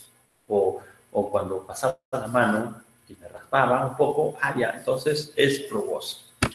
¿De acuerdo? Pero después me di cuenta que existe eh, toda una referencia con tablas y métodos para determinar más adecuadamente la rugosidad. Veamos. Aquí tenemos, muchachos, por ejemplo, otro ensayo in situ, sería el ensayo número 2, después del esclerómetro Martin Smith, el peine de Barton. ¿De acuerdo? ¿Qué es el peine de Barton? El peine de Barton es un equipito bastante simple. Estos son pelos, ¿de acuerdo? Dinámicos, se mueven, eh, de, de, metal. ¿no? Y esta es la estructura que los contiene. Entonces, ¿qué es lo que hace el peine de Barton? El peine de Barton este es un plano de fractura. Se presiona el peine de Barton sobre el plano de la fractura y me va a dar el perfil, ¿de acuerdo?, de rugosidad. ¿Para qué sirve el peine de Barton? El peine de Barton sirve para determinar el JRC, o el Joint Roundness Coefficient. ¿De acuerdo? Entonces, lo que yo tengo acá al final, en el peine de Barton, es el perfil de la rugosidad de la estructura o discontinuidad. ¿Y cómo funciona esto? Entonces, si este es el perfil, para determinar, para usar el peine de Barton, yo tengo que medir en milímetros el, pico más alto y el pico más bajo en milímetros. La diferencia entre el pico más alto y el pico más bajo en milímetros. Veamos. Acá está. En valores milimétricos. ¿De acuerdo? Entonces, si la variación es, por ejemplo, Mm. casi, miren, lisa, donde la variación es mínima, ¿sí? Entonces, miren, me va a dar valores de rugosidad o JRC muy bajos. Entonces, ¿cómo se utiliza este valor? En milímetros, ¿no? En milímetros. Entonces, supongamos que entre el pico más alto y más bajo me ha dado 3 milímetros. ¿De acuerdo? Me ha dado 3 milímetros. Está aquí. 3 milímetros. Entonces, ¿qué es lo que voy a hacer? El perfil del, esto se refiere al perfil del peine de Barton, ¿sí? el perfil que yo estoy midiendo. El peine de Barton mide de 15 centímetros, hay peines de 15 centímetros, hay peines de 30 centímetros hay peines de 1 metro. ¿sí? Entonces, a lo largo de todo ese metro, yo tengo que verificar cuál es el más bajo y cuál es, cuál es el más alto y cuál es el más bajo y restarlo y saber la diferencia en milímetros. Esto se pueden apoyar, muchachos, con, por ejemplo, mm, con un papel milimetrado. Ponen su peine, este, el papel milimetrado debajo de su tablero, ponen el peine de Barton y pueden determinar, ¿de acuerdo?, la diferencia en milímetros. Entonces, yo utilizo, por ejemplo, el convencional de 15, que más o menos estaría por acá, lo cruzo con 3 milímetros, ¡pac! me da acá, y me dice que el valor, de acuerdo JRC, es 10. Entonces, está acá. Y yo elijo, al final, elijo cuál es el que más se parece en curva, ¿sí? A mi afloramiento rocoso. Entonces, esto tienen, tendrían que llevárselo en campo, junto con esta hojita. O si gustan, hacen una hoja en Excel más rápido y a medida, porque van a tener un solo peine, ¿de acuerdo? A medida que les sale el milímetro, automáticamente ya tendrían calculado una tablita, así como hicimos en el RQD, tendrían calculado eh, su JRC. Y este es el valor que nosotros metemos en los este, diferentes software eh, geotécnicos. Muy bien. Eh, no se olviden que la rugosidad también nació, este, bueno, perdón, la rugosidad también se utiliza no solamente para afloramiento, sino también para testigos de perforación de matina. Y no olvidar también que eh, la geomecánica, la clasificación geomecánica se aplica también a las perforaciones. O sea, el mismo procedimiento, los mismos pasos, bueno, menos persistencia, de, rugosidad, de espaciado, se utilizan de acuerdo a los testigos de perforación, incluyendo la rugosidad. Acá les he puesto, esta es una compilación que yo he hecho, de acuerdo, en base a los diferentes logueos que he realizado yo. Sí, entonces, esta clasificación de JR es de Barton y Grimstad, ¿de acuerdo? Entonces, yo he utilizado algunas, he agregado algunas fotografías que me han ayudado, ¿no? Para que ustedes puedan eh, diferenciar qué tan rugosas o no pueden ser, ¿de acuerdo? Eh, las discontinuidades en los testigos de perforación. Y aquí prácticamente las tenemos lisas, ¿no? ¿Sí? Muy lisas. Mientras aquí las tenemos, miren, ¿no? el grado de rugosidad que tiene esta roca. Ahora, ¿por qué es importante el grado de rugosidad? Dense cuenta de algo. Si yo tengo un plano de discontinuidad, yo veo un talud, por ejemplo, estamos, estamos parados frente a un talud, y yo veo que el, el rubio de esos planos, ¿de acuerdo?, vienen hacia mí, entonces puede hacer que la, estructura caiga, ¿eso qué va a pasar? Va a hacer, ¿de acuerdo?, que si una roca es muy rugosa, por más que su orientación, su rumbo de cruzamiento vaya hacia la caída de ese bloque, entonces si la roca es muy rugosa va a evitar que se desplace. ¿De acuerdo? Pero en cambio, si yo tengo una, una capa, una discontinuidad lisa y tengo un bloque de roca encima, igual la misma orientación que pueda caerse, los bloques que están encima, cuando pase el agua, va a caer. ¿no? El agua, ¿qué va a hacer? va a generarse como un lubricante que va a favorecer la caída. Entonces, siempre cuando llueve, en las carreteras se nota eso, también en los, en los tajos, después de las lluvias o durante el proceso de, caída pluviométrica, eh, los taludes se caen, ¿no? se limpian, se acondicionan. ¿De acuerdo? Inclusive, está, está normado en ley que cuando una empresa termina, una contratista termina de construir una carretera, entonces tiene la carretera dos años de adaptación, el talud. Y la empresa contratista tiene la obligación durante esos dos años de limpiar eh, y generarle mantenimiento a esa carretera, ¿no? porque el talud natural desapareció, le hemos generado un corte con voladura, con maquinaria, entonces hemos generado eh, variación, ¿de acuerdo?, en los esfuerzos del talud natural y voy a generar caída de bloques. Hasta que se limpien todo eso deben de pasar ya dos años adecuadamente. Muy bien, la apertura, la abertura de las fracturas. Entonces, hay algunas fracturas que, son, que, están abiertas, ¿de acuerdo? Las aberturas no son, no son muy escandalosas, no estamos hablando de 10, 20 centímetros, ¿no? Eso ya sería, ya podríamos considerarlo como una falla geológica, ¿de acuerdo? Deberíamos considerarlo 2, 3, 5 milímetros máximo, ¿no? Según la clasificación geomecánica RMR, eso indica, ¿no? Más de 5 milímetros, ¿de acuerdo? Entonces, este, esto hay que, hay que tener mucho cuidado cuando trabajamos en minería, a diferencia de un talud natural en una carretera, por ejemplo. ¿Por qué? A veces los taludes de las carreteras no han sido afectados con voladura. Entonces, la abertura es natural. En cambio, en un tajo, en un, en un túnel, nosotros hemos generado voladura a la roca. Entonces, las aberturas que nosotros vemos no son naturales. ¿De acuerdo? Las aberturas que nosotros vemos son, este, mm, son generadas por la voladura. Entonces, las fracturas, ¿cómo se van a encontrar? Muchísimo más abiertas. ¿Cómo podemos atacar este problema? Eh, siempre se recomienda buscar las litologías naturales en la superficie. Es decir, si yo voy a, mapear un túnel, tengo que buscar dos o tres estaciones geomecánicas, dos o tres celdas de mapeo, ¿de acuerdo? De la litología que yo voy a mapear dentro del túnel o dentro del talud. Esto para ver, para comprender cómo se encuentran esas discontinuidades en la naturaleza. Porque si yo voy al túnel mapeo y veo que las fracturas son 3 milímetros de abertura, esas no van a ser las, las aberturas naturales. ¿No es cierto? Por la liberación de energía de la voladura van a estar más abiertas. Inclusive las que fueron cerradas o fisuras se encuentran abiertas con 3, 4 milímetros. Yo voy a poner eso y estoy castigando a mi roca y no le estoy poniendo el verdadero valor. Entonces la abertura es un parámetro bastante delicado al momento de evaluar yo les recomiendo que evalúen de todas maneras, siempre visiten, sean túneles sea tajos o taludes, eh, visiten los afloramientos superiores, los naturales, ¿de acuerdo? Donde la roca no ha sido explotada, no ha sido volada o perforada. Inclusive los registros de perforación, la abertura no se toma mucho en consideración, ¿no? porque al retirar la, el testigo del pozo, entonces ya son aberturas este, que ya no son naturales, no son mecánicas. Después tenemos el relleno. El relleno es lo que tiene dentro de la abertura. El relleno puede ser de material duro o de material blando.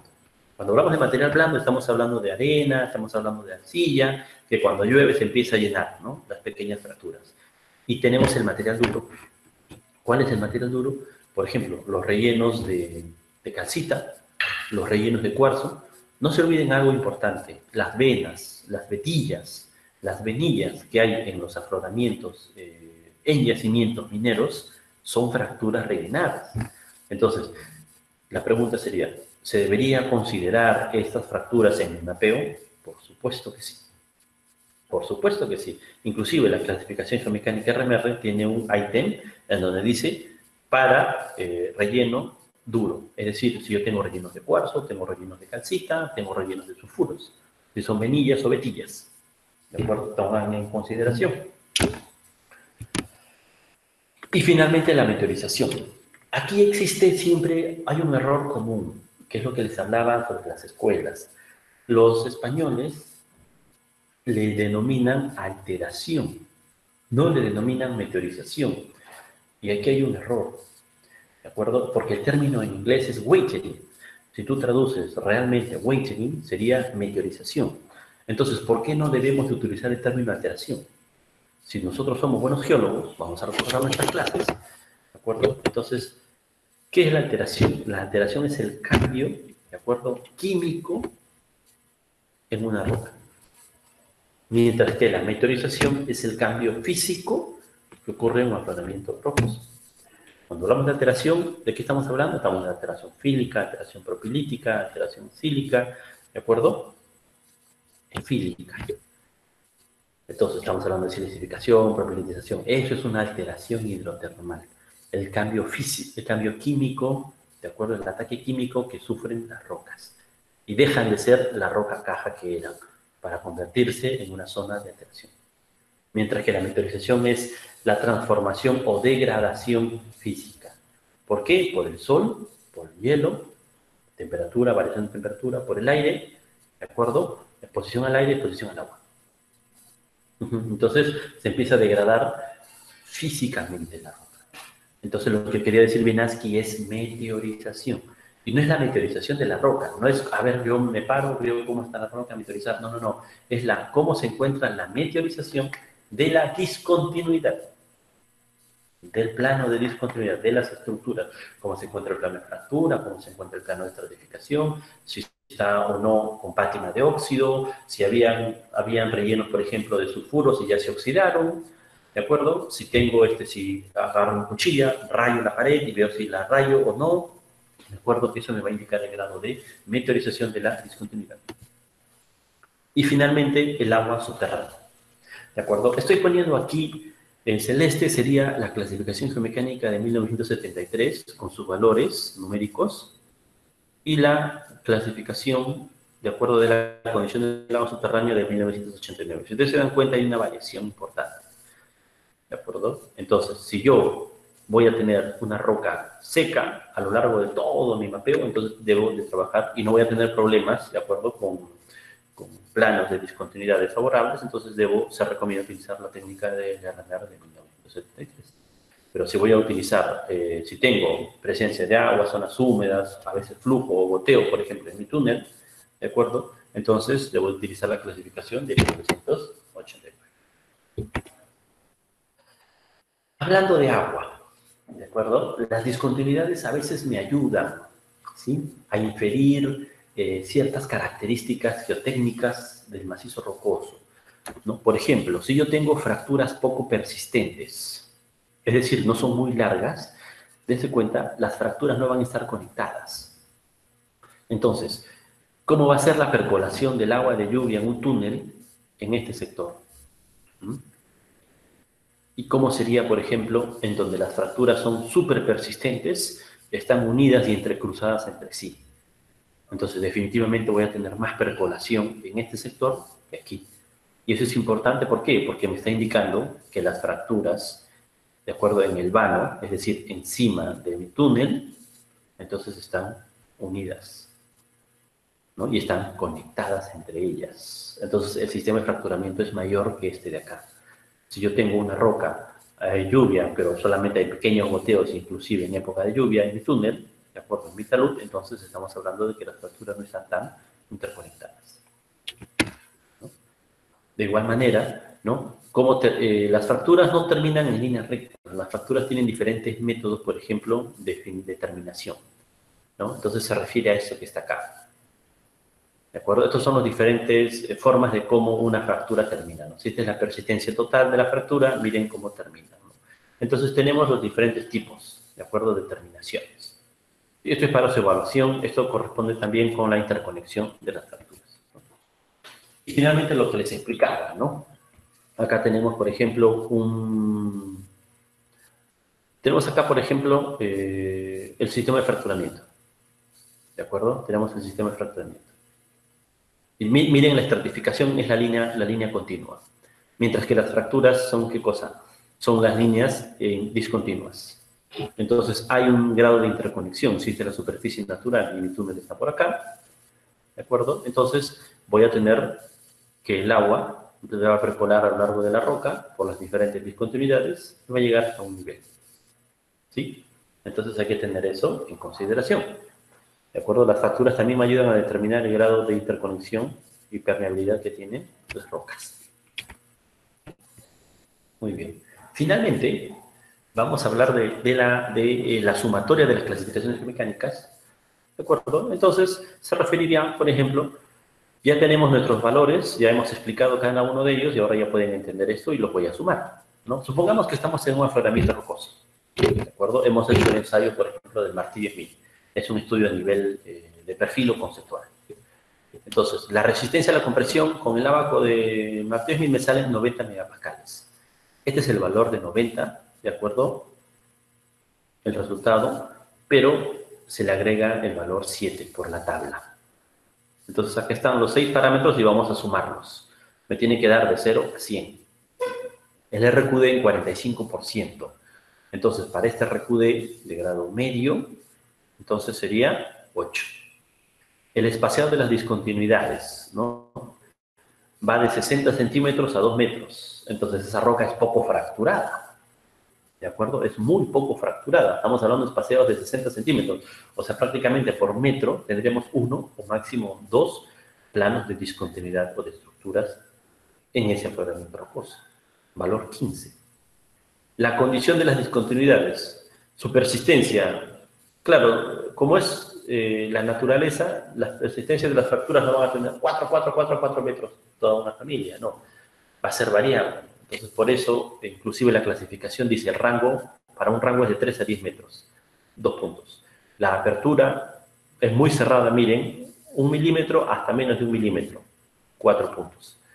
Ligeramente rugoso, no es tan rugoso, tres puntos. El relleno es suave, puede ser entonces relleno de arcilla, menor de 5 milímetros. Entonces, relleno de arcilla o de arena. Uno.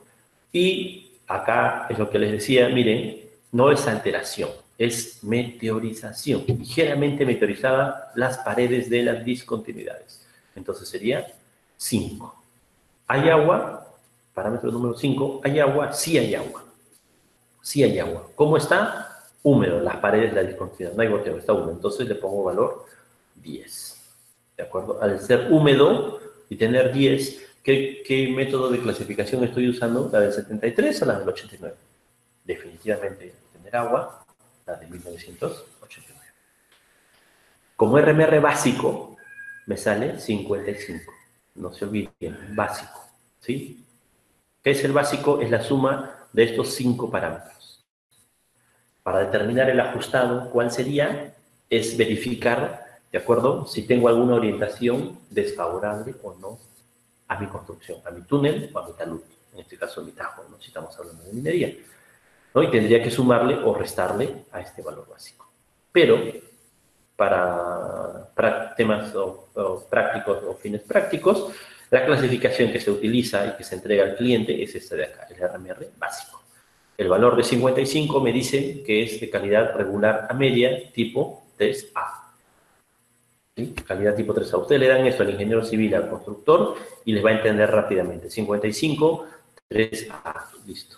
Y con esto ya va a saber cómo diseñar, cómo hacer el sostenimiento. Inclusive, dándole este valor de RMR, ¿de acuerdo? Al que hace el, blasting, ¿de acuerdo? Y la voladura, eh, eh, puede, ¿de acuerdo?, adecuar mejor su proceso de voladura. ¿Por qué? Me ha pasado varias oportunidades en donde hemos ido a mapear tanto túneles y tajos y le meten la voladura como si nada. Y lo malo es que a la roca la daña y genera eh, problemas de sostenimiento. Entonces, nosotros hacíamos un mapeo, indicábamos el mapeo le hacemos el mapeo básico y le decíamos, mira, tienes que usar como máximo tanta cantidad de energía, no uses tanta ya voladura. ¿no? Tu frente de voladura, redúcelo. y le dábamos un diseño básico. ¿no? ¿Y eso qué hacía? Hacía que al final ya no tengan que gastar en sostenimiento. Lo que estaba pasando era que su voladura botaba mucha energía, ¿de acuerdo? Y dañaba tanto a la roca que se tenía que adicionarle sostenimiento, ¿no? Por un mal proceso de mapeo geomecánico.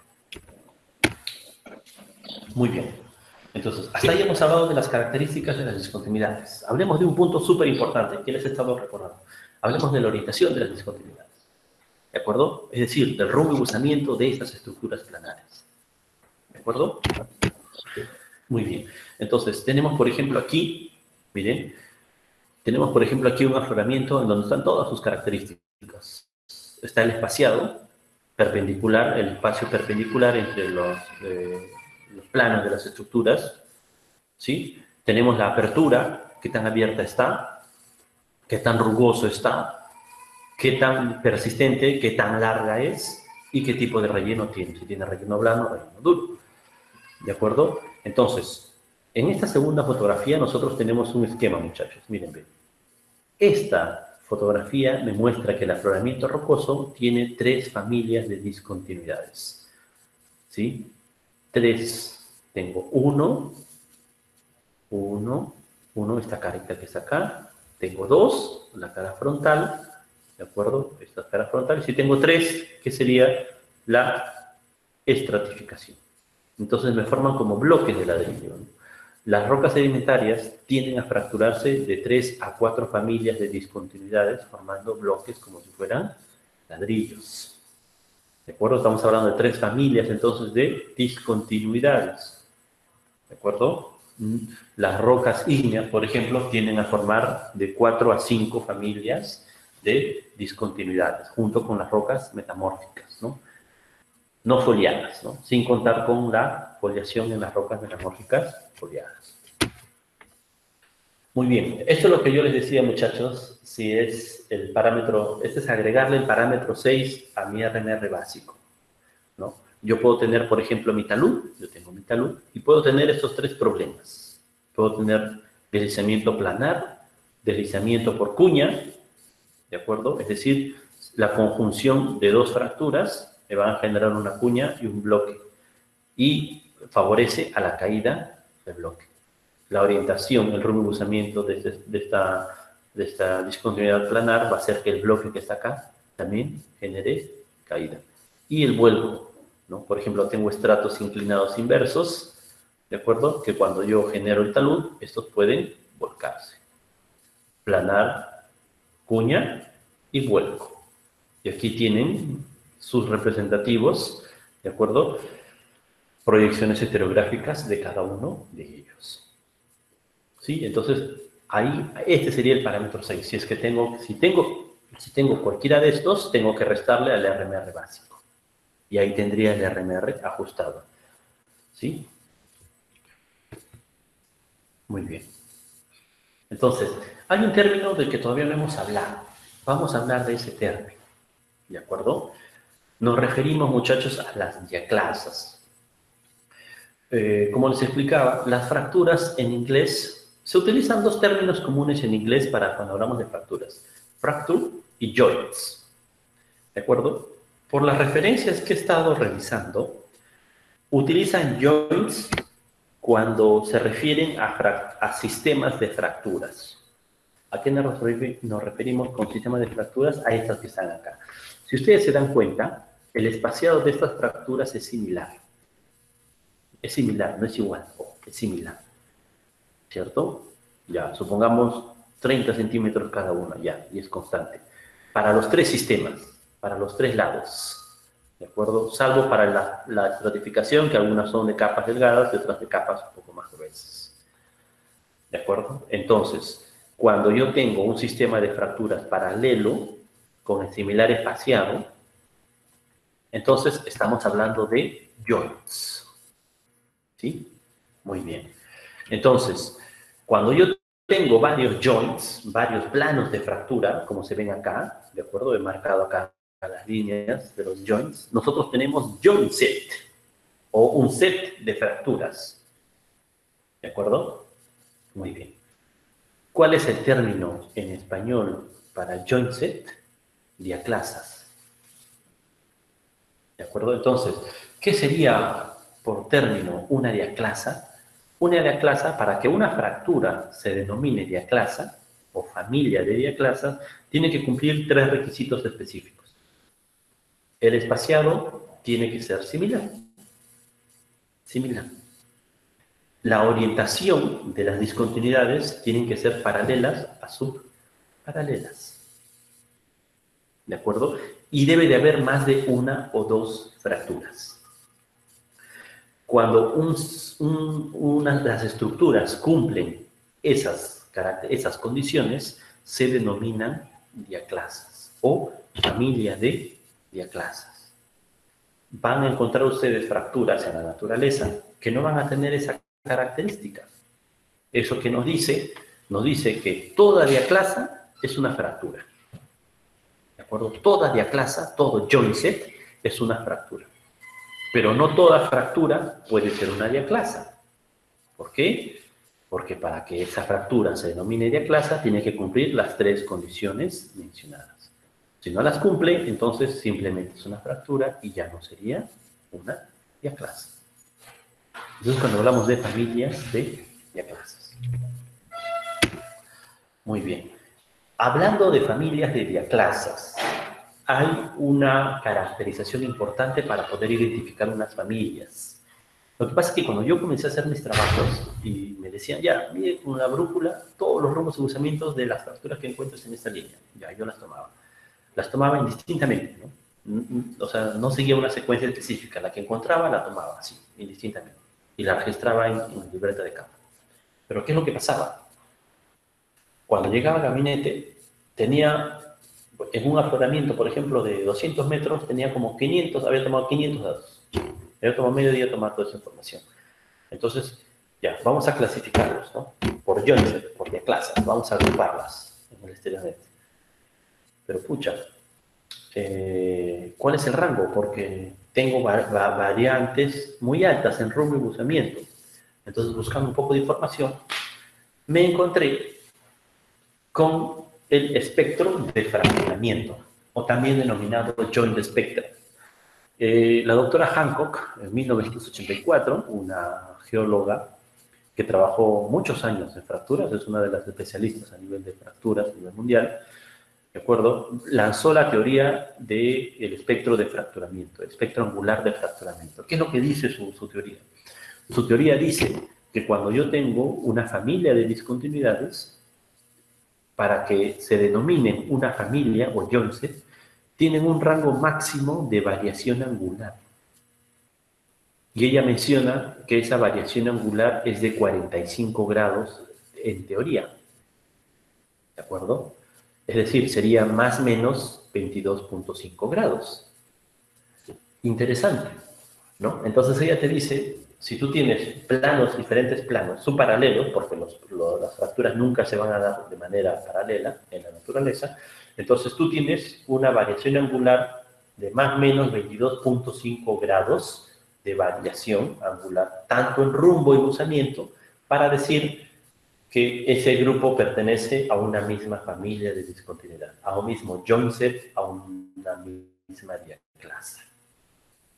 ¿De acuerdo? Eso es en teoría, pero por experiencia, después leí varios papers posteriores, eso lo publicó en 1985, en 1984 y en 1985, y indicaron que ese espectro era muy amplio y se prefería para temas de conservación, que viene lo que, lo que les decía, para ser conservadores, utilizaban valores de más o menos 15 grados. Es decir, una variación angular tanto en rumbo y usamiento de 30 grados. Para poder definir que eso es, pertenecen todos esos planos de fracturas paralelo pertenecen a un mismo sistema o familia de clase. Muy bien. Eh, hablemos de las nomenclaturas de las orientaciones, ¿de acuerdo? Tenemos tres grandes nomenclaturas, las más usuales, las más conocidas, ¿de acuerdo? Tenemos, por ejemplo, la nomenclatura cuadrantal, ¿no? Que es la famosa nomenclatura también conocida como americana, que es la que trajeron los americanos al Perú, ¿no? de la escuela americana. Es la convencional y la que nosotros leemos en los cuadrángulos geológicos del INGEMET. De acuerdo, norte 30 grados oeste, busando 40 grados al suroeste. Aquí está combinado números y letras. ¿De acuerdo? En este método. ¿Cuál es el segundo método? El método simultáneo. El método simultáneo ya no utiliza cuadrantes, sino utiliza todo la rosa de los vientos. Reemplaza, de acuerdo, el norte 30 grados oeste y lo convertimos en un valor numérico que sería 330 grados. Mientras que el valor de usamiento puede ser todavía similar. Estos dos métodos, tanto el cuadrantal y la simultánea, tienen un problema. Porque se utilizan tanto números como letras. ¿Cuál es el problema? El problema es que cuando yo voy a meter la información de la orientación de la discontinuidad en los diferentes software geológicos y geomecánicos o geotécnicos, solamente el input son números.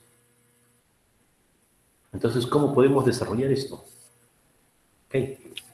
Por eso, en geomecánica se utiliza el método Deep, Deep Direction. ¿De acuerdo? Entonces, el método Deep, Deep Direction es un método bastante simplificado en donde primero va el buzamiento, 40, ya no va el cuadrante de buzamiento, ¿de acuerdo? Y esto se reemplaza con el deep direction. Estos tres son equivalentes, ¿ah? ojo, estos tres son equivalentes. ¿De acuerdo? Entonces, esta información yo ya puedo ingresarla a los softwares.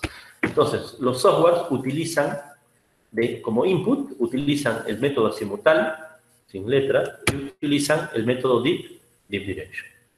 ¿De acuerdo? Pero el, método simultáneo, ingeniero, tiene letras. Ok, para evitar ponerle letras, muchachos, el método simultáneo tienen que utilizar la regla de la mano derecha. ¿Qué es lo que hace la regla de la mano derecha? Miren, la regla de la mano derecha me convierte, ¿de acuerdo? Todos los parámetros en una sola forma de notación. Y me permite que el valor azimutal yo le quite este, suroeste, y me quede solamente con 330 grados slash 40 de cruzamiento. ¿De acuerdo? Y otra cosa favorable es que cuando yo hago una conversión del método cuadrantal a Deep Direction o del método azimutal a Deep Direction, la, la, conversión va a ser correcta, siempre y cuando yo haya tomado la información con la regla de la mano derecha. Para tomar la regla de la mano derecha, ¿cuál es la metodología?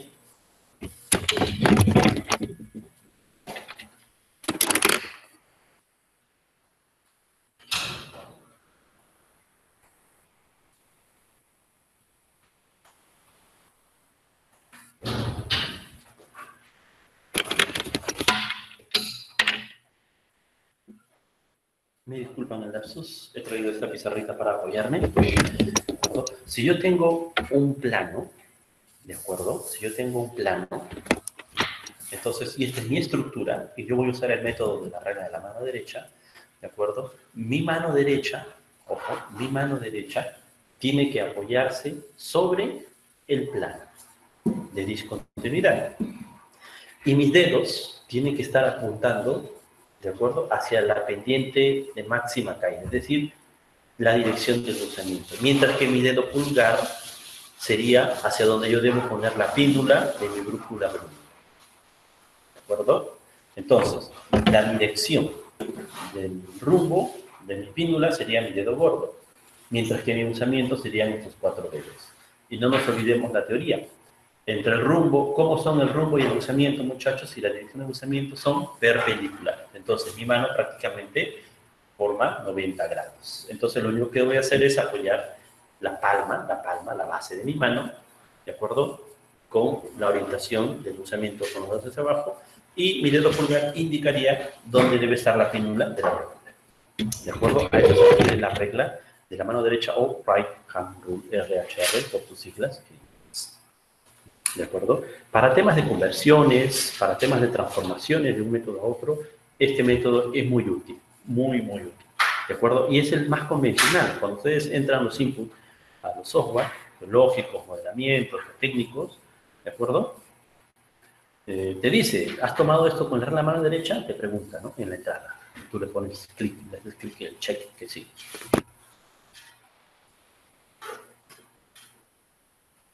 Muy bien. Entonces, finalmente, tendríamos, una vez tomado los planos de discontinuidad, trabajando, por ejemplo, aquí les pongo la pantalla del software DIPS, del paquete Rock Science, un paquete de Rock Science, en donde sale, por ejemplo, ¿no? Miren, aquí se puede observar lo que les decía sobre el joint spectra, ¿no? O la variación angular. Entonces, estos de acá son variaciones cada 10 grados. Cada cuadrado son 10 grados tanto de rumbo como de buzamiento. Y si se dan cuenta, miren, aquí sale, por ejemplo, un grupo una familia de discontinuidad. ¿De acuerdo? 20 grados de rumbo y 20 grados de cruzamiento. Aquí miren, ¿ah? aquí tengo, para todo este grupo, para todo este bloque, tengo 10, 20, 30. En rumbo pertenecen a una misma familia. Miren embusamiento. Comienza desde acá, con este pequeño grupo, casi invisible. 10, 20, 30, 40. Entonces, es muy amplio. Entonces, ¿qué es lo que debo hacer? 30 por 30, este bloque sería una sola familia, mientras que este sector, con continuidad de este sector, sería otra familia de discontinuidad. Acá tendría otra familia, y acá tendría una pequeña familia, y acá tendría otra pequeña. Este sería el diagrama de Rosetta, ¿de acuerdo? De esos planos de discontinuidad. Y finalmente, las cuatro familias de discontinuidades ya caracterizadas ¿no? del universo de datos en la proyección estereográfica. ¿Sí? Para finalmente, les estoy poniendo una imagen de cómo yo presento en mis reportes cuando hago, por ejemplo, una estación geomecánica. ¿no? Pongo los tres valores. El primer valor que pongo es el diagrama de rosas, el segundo pongo el diagrama de polos, ¿de acuerdo? En donde acá se observa la variación angular para determinar la cantidad de familias. Y finalmente acá sale las cinco familias de discontinuidades. En este caso, por ejemplo, como ustedes pueden apreciar, se escapa del rango de 30 más menos 15, entonces se tiene que dividir en dos familias de discontinuidades, 1 y 2.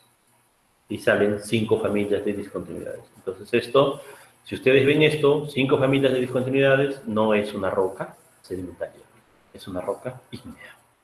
Esto es la, lo que se hizo para este, mapeo geomecánico es una roca Muy bien. Ahora sí, una vez que ya hemos hablado de las características de las discontinuidades, qué es una discontinuidad, hemos hablado de, la orientación de estas discontinuidades, hemos hablado también de los, de, los métodos, de acuerdo de cómo se debe registrar en la regla de la mano derecha, ¿sí? y cómo se presenta en la proyección estereográfica, ya tenemos una idea más clara de cómo poder atacar, cómo poder entrar a, a, a lo que nos llama el día de hoy, que son los mapeos geomecánicos. ¿De acuerdo? Entonces vamos a comenzar con el primer método, ¿de acuerdo? Rápidamente, el primer método, y estamos entrando en la parte final, no se preocupe. Eh, el método scanline o línea de detalle. ¿De acuerdo? ¿Qué es el método scanline? El método scanline se refiere a que yo tengo mi afloramiento rocoso, ¿de acuerdo? Y voy a trazar una línea con una wincha, o con un, o con un hilo, o con un pabilo. Entonces, eh, ¿qué es lo que tengo que hacer? Tengo que registrar esta es mi línea de detalle, tengo que registrar solamente, ojo, solamente las discontinuidades o estructuras que me cortan esta línea que yo he trazado. Puede ser una línea imaginaria, puedo trazarlo con tiza, puedo coger a dos asistentes que cojan los límites de un hilo de, no sé, 20, 30 metros, y yo voy a ir registrando en mi libreta de campo o en mi formato de campo todas las discontinuidades que cortan o estructuras que cortan esa línea. ¿De acuerdo? Si ustedes se dan cuenta, hacer esto es como loguear una línea en el afloramiento. ¿No es cierto? El método scanline se parece como hacer un logueo en mi afloramiento rocoso. Dicho de otras palabras. Entonces, lo que tengo que registrar es solamente las estructuras o discontinuidades que cruzan las líneas. Entonces acá tenemos, por ejemplo, este es el afloramiento, se ha trazado una línea de 80 metros, ¿de acuerdo? Y se están tomando el registro de todas las estructuras, fracturas, fallas, pliegues, estratificaciones, foliación, viscosidad, que cortan esa línea. ¿De acuerdo? Muy bien. Aquí yo les dejo el formato, un formato de mapeo geomecánico. Entonces, este es el formato que yo utilizo este, para hacer el, cuando desarrollo el método ScanLine, ¿de acuerdo? Por línea de detalle. ¿De acuerdo? Acaba toda la, acaba la, información del proyecto, la, la, mina, la ubicación, el coordenada de inicio final. No se olviden que es el método de línea de detalle, entonces tengo dos puntos, el punto de inicio y el punto final, con sus datos de GPS, el tipo de roca, la longitud de mi estación, de mi línea de detalle, el código quién lo ha desarrollado y cuándo se desarrolló. Es importante toda esta información. Es importante tener un registro detallado de toda la información en campo. Es mejor, muchachos, que me sobre data en campo a que me falte. Porque yo no tengo a veces la oportunidad de regresar nuevamente al campo. Si yo me voy a Arequipa, me voy a, Ica o me voy a Cajamarca, yo radico en Arequipa, radico en Lima, entonces, y si no tomé la información completa, no puedo volver a regresar al sitio. ¿no? Y esa información, eso va a ser una observación importante en mi cliente. Y me va a decir, ¿y por qué no tomaste esa información? Esa es data básica, ¿no? ¿Sí? Entonces es importante esta primer, el primer encabezado, ¿no? Entonces veamos un poquito, hagamos un zoom a ese, a ese este dato para que ustedes vean más o menos cómo se, se toma la información. ¿De acuerdo? Hemos hecho un zoom a este, vamos a hacer un zoom a este sector, porque el resto es simple, y si ustedes se dan cuenta, miren, aquí aparecen, chicos, ¿qué cosa? Aparecen las diferentes características de las discontinuidades. Persistencia, espaciado, RQD, apertura, rugosidad, son las columnas, ¿de acuerdo? Referidas a este formato. ¿De acuerdo? Entonces, por ejemplo, comenzamos. Yo le pongo JN porque es joint, en inglés la discontinuidad, joint.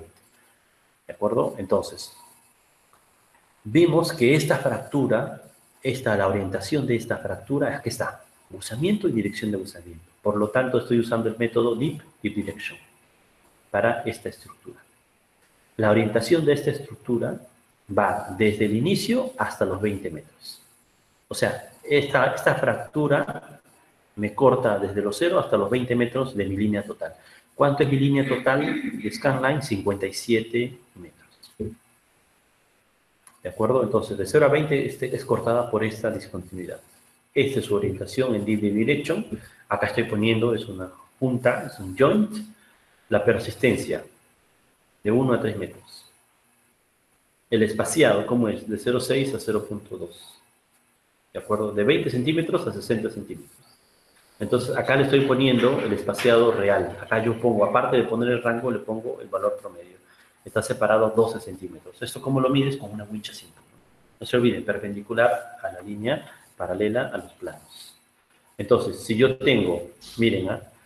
tengo 20 metros de este plano de fractura, cuyo espaciado es 12 centímetros, en esos 20 metros, ¿cuántas, ¿cuántos datos voy a tener? 152. Regla de tres simple. Regla de tres simple. ¿De acuerdo? Entonces, este sería, y así igualmente, ¿no? La junta número 2, número 3. Miren, ¿de acuerdo? ¿Cuántas familias hemos encontrado? Hemos encontrado cinco familias de discontinuidades. A veces se repite la 1, a veces se repite la 4, vuelve a repetirse en este tramo la 2 y vuelve a repetirse la 4. Solo las estructuras que cortan esa línea, nada más. ¿De acuerdo? Y encontramos una pequeña fallita. Una pequeña fallita. Y aquí se marca. Una falla geológica. La falla geológica es persistente, por supuesto que es persistente. Tenía más de 20 metros de longitud de esa falla geológica que me cortaba el luz. ¿De acuerdo? ¿Cómo es el espaciado? Más de 2 metros. Es decir, tenía una brecha mayor, su zona de falla, la zona de brecha es más de 2 metros. Entonces era una falla importante. Entonces, tengo una sola falla en este tramo. ¿Cuántas estructuras voy a tener? Una sola. Al final todo es sumable. Dense cuenta, yo no separo las estructuras, yo las junto todas al final. Miren, tenemos como tipo de estructuras fracturas, fallas, venas, shersons o zonas de cizalla, estratificaciones, foliaciones, ¿de acuerdo? Diques y contactos geológicos. Todas las estructuras geológicas son discontinuidades, no solo las fracturas. ¿De acuerdo?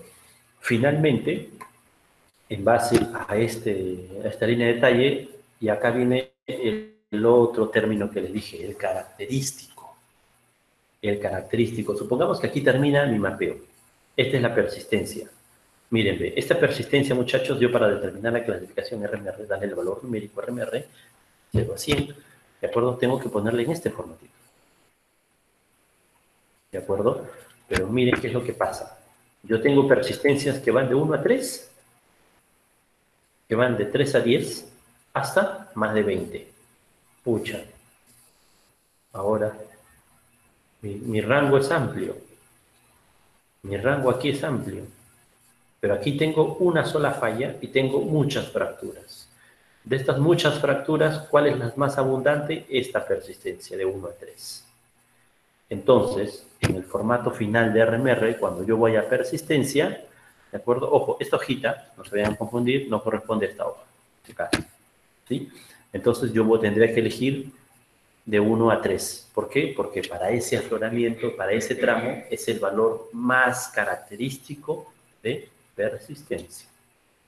Y así sucesivamente tienen que hacer con las demás características. ¿no? Espaciado acá es mucho más simple, el espaciado es similar. Miren, en todas las discontinuidades el espaciado es similar. Entonces su espaciado aquí sería de 0.6 a 0.06 a 20. Entonces si hablamos de espaciado estaríamos aquí tu valor sería 8. Finalmente, obtendríamos el valor del RMR básico de 38. Ajustando, ajustándole, es decir, quitándole las orientaciones desfavorables, restándole eso, se vuelve 13, una roca mala. Pero de por sí nosotros debemos usar este de acá. ¿De acuerdo? El RMR básico. Este es el que se utiliza para las clasificaciones. Acá también pongo el de 1989 que se refiere a condiciones secas y muy favorables. Sería 43. Pero el valor que deben usar siempre es el 43. Muy bien. El método Scanline tiene un error inherente. ¿De acuerdo? Nació con ese error. No es que es un mal método de mapeo. Que se refiere y que Terzaghi, y que Terzaghi encontró el error en, la, en los registros de perforación Terzaghi no encontró, ojo, el error en el método de mapeo. ¿Por qué? Porque este método se desarrolló en la década del 80, ¿de acuerdo? Posterior a, la ponderación de Terzaghi, porque Terzaghi trabajaba con qué? Con registros de perforación. Entonces, ¿qué es lo que decía Terzaghi?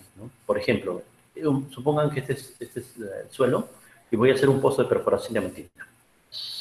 Muy bien, yo tengo acá, muchachos, este afloramiento rocoso en profundidad tiene tres planos de discontinuidad. Los planos que son horizontales, supongamos que sea la estratificación, el A. Los planos que son oblicuos, ¿de acuerdo?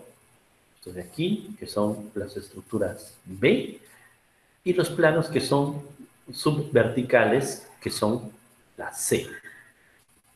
Cuando yo hago un pozo de perforación diamantina, les pregunto, yo voy a cortar en la misma magnitud de cantidad a A, B y C o no? No. Miren, en A, ¿cuántos voy a cortar de A? 1, 2, 3, 4, 5, 6, 7. En A tengo 7. En B, ¿cuántos voy a cortar? 1, 2, 3, 4, 5, 6. En menor cantidad. Y en C y en en C, perdón, ¿cuántos voy a cortar? Voy a cortar 1, 2. Entonces, al final, ¿qué voy a tener? Voy a tener que la familia principal o joint principal va a ser A, la familia secundaria va a ser B, y la familia secundaria va a ser C. ¿Eso es correcto al momento de hacer el logueo? No. ¿Qué pasaría si C fuera la más abundante? Imagínense que C fuera la más abundante pero es paralelo al, al, pozo o al, método Scanline. Entonces prácticamente no voy a cortar a ningún C. Pero en la realidad, en el afloramiento C es la que tiene mayor cantidad y debería ser la familia principal. Entonces, ¿qué es lo que hace Terzaghi? Terzaghi se da cuenta de eso y realiza lo que él llama la ponderación de Terzaghi, o o Terzaghi waitering se llama. Eso lo pueden encontrar, por ejemplo, en el software DIPS. ¿no? Cuando ustedes hacen una evaluación en modelo, el mapeo, le aplican el check a la ponderación de Terzaghi y Terzaghi lo compensa en base a su orientación. Él dice, bueno, estas orientaciones pueden ser falsas, pueden ser aparentes, entonces vamos a ponderarlas y vamos a tratar de darles el mismo peso a las tres, de manera probabilística y de manera muy adecuada. Eso hace que realmente ya ahora sí cortes a las tres, a los tres valores. Disminuye un poco A y aumenta un poco C y lo deja en un punto interno entonces lo pondera. Ustedes pueden elegir trabajar con la ponderación o sin la ponderación. Cuando hagan los videos geológicos, tomen los datos de fracturas y al final metan al DIPS y procesenlo y apliquen la ponderación para ver cómo varía. Y por eso les digo, también es importante buscar en los alrededores eh, afloramientos de la misma litología que van a mapear, tanto en el Tajo, en el Talud o en, el túnel. Eso les va a ayudar a tener una idea clara de cómo se encuentra el afloramiento caso en macizo. Muy bien. El segundo método, muchachos, es el método de celdas estructurales, o ventanas estructurales, sampling window también denominada. ¿De acuerdo? Entonces, a diferencia del método scanline, nosotros ya no utilizamos una línea, sino utilizo un valor areal en 2D o utilizo un valor volumétrico. Cuando utilizo un valor areal de área, cuando estoy mapeando un talud. Y cuando utilizo un valor volumétrico, cuando estoy mapeando. ¿De acuerdo? Esos, esas variaciones pueden ser de 3 por 3 metros como de 10 por 10 metros. Es decir, de 10 por 10 metros de lado varial, si es un talud alto, o de 3 por 3 metros, ¿de acuerdo? Si es un túnel.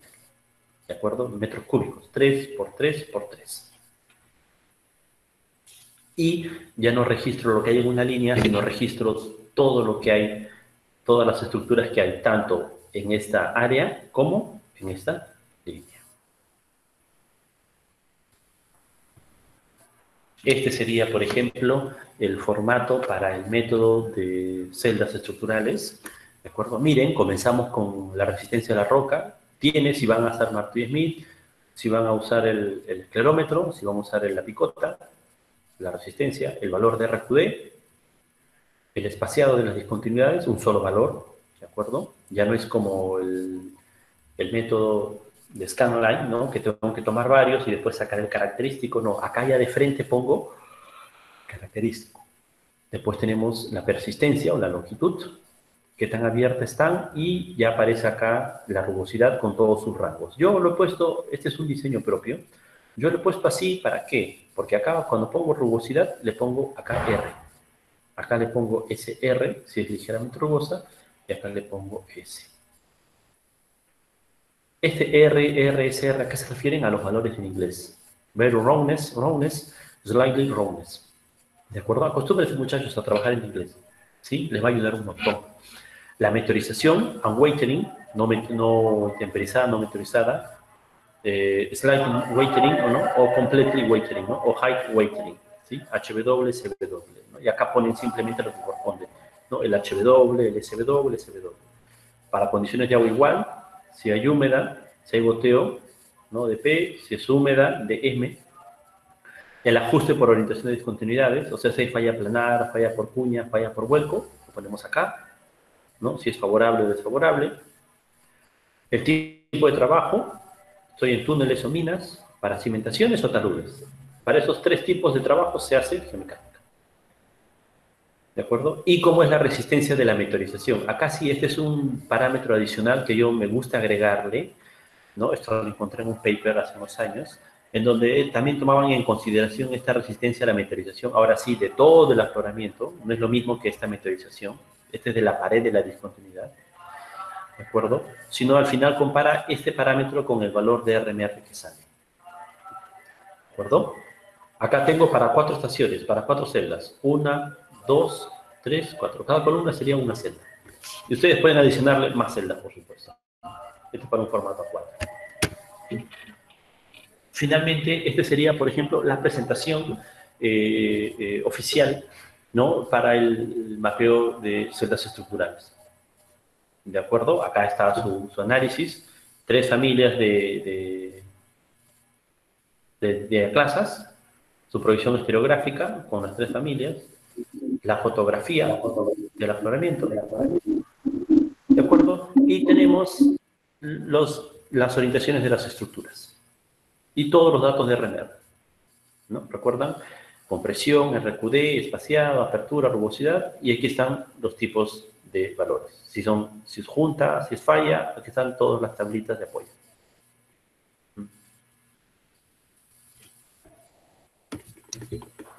Y finalmente el método fotogramétrico.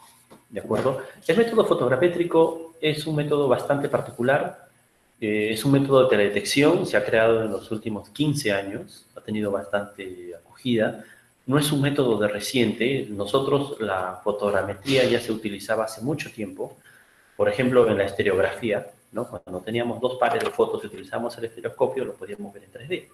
Ok, lo podíamos ver las fotos en 3D, ¿no? Y trazar las estructuras, los lineamientos, los límites de cuenca, los ríos, de acuerdo las orientaciones de los, de los valles, ¿Qué es lo que hizo la computadora? La computadora agarró las dos fotografías y en vez de verlos en 3D, te generó una nube de puntos en 3D.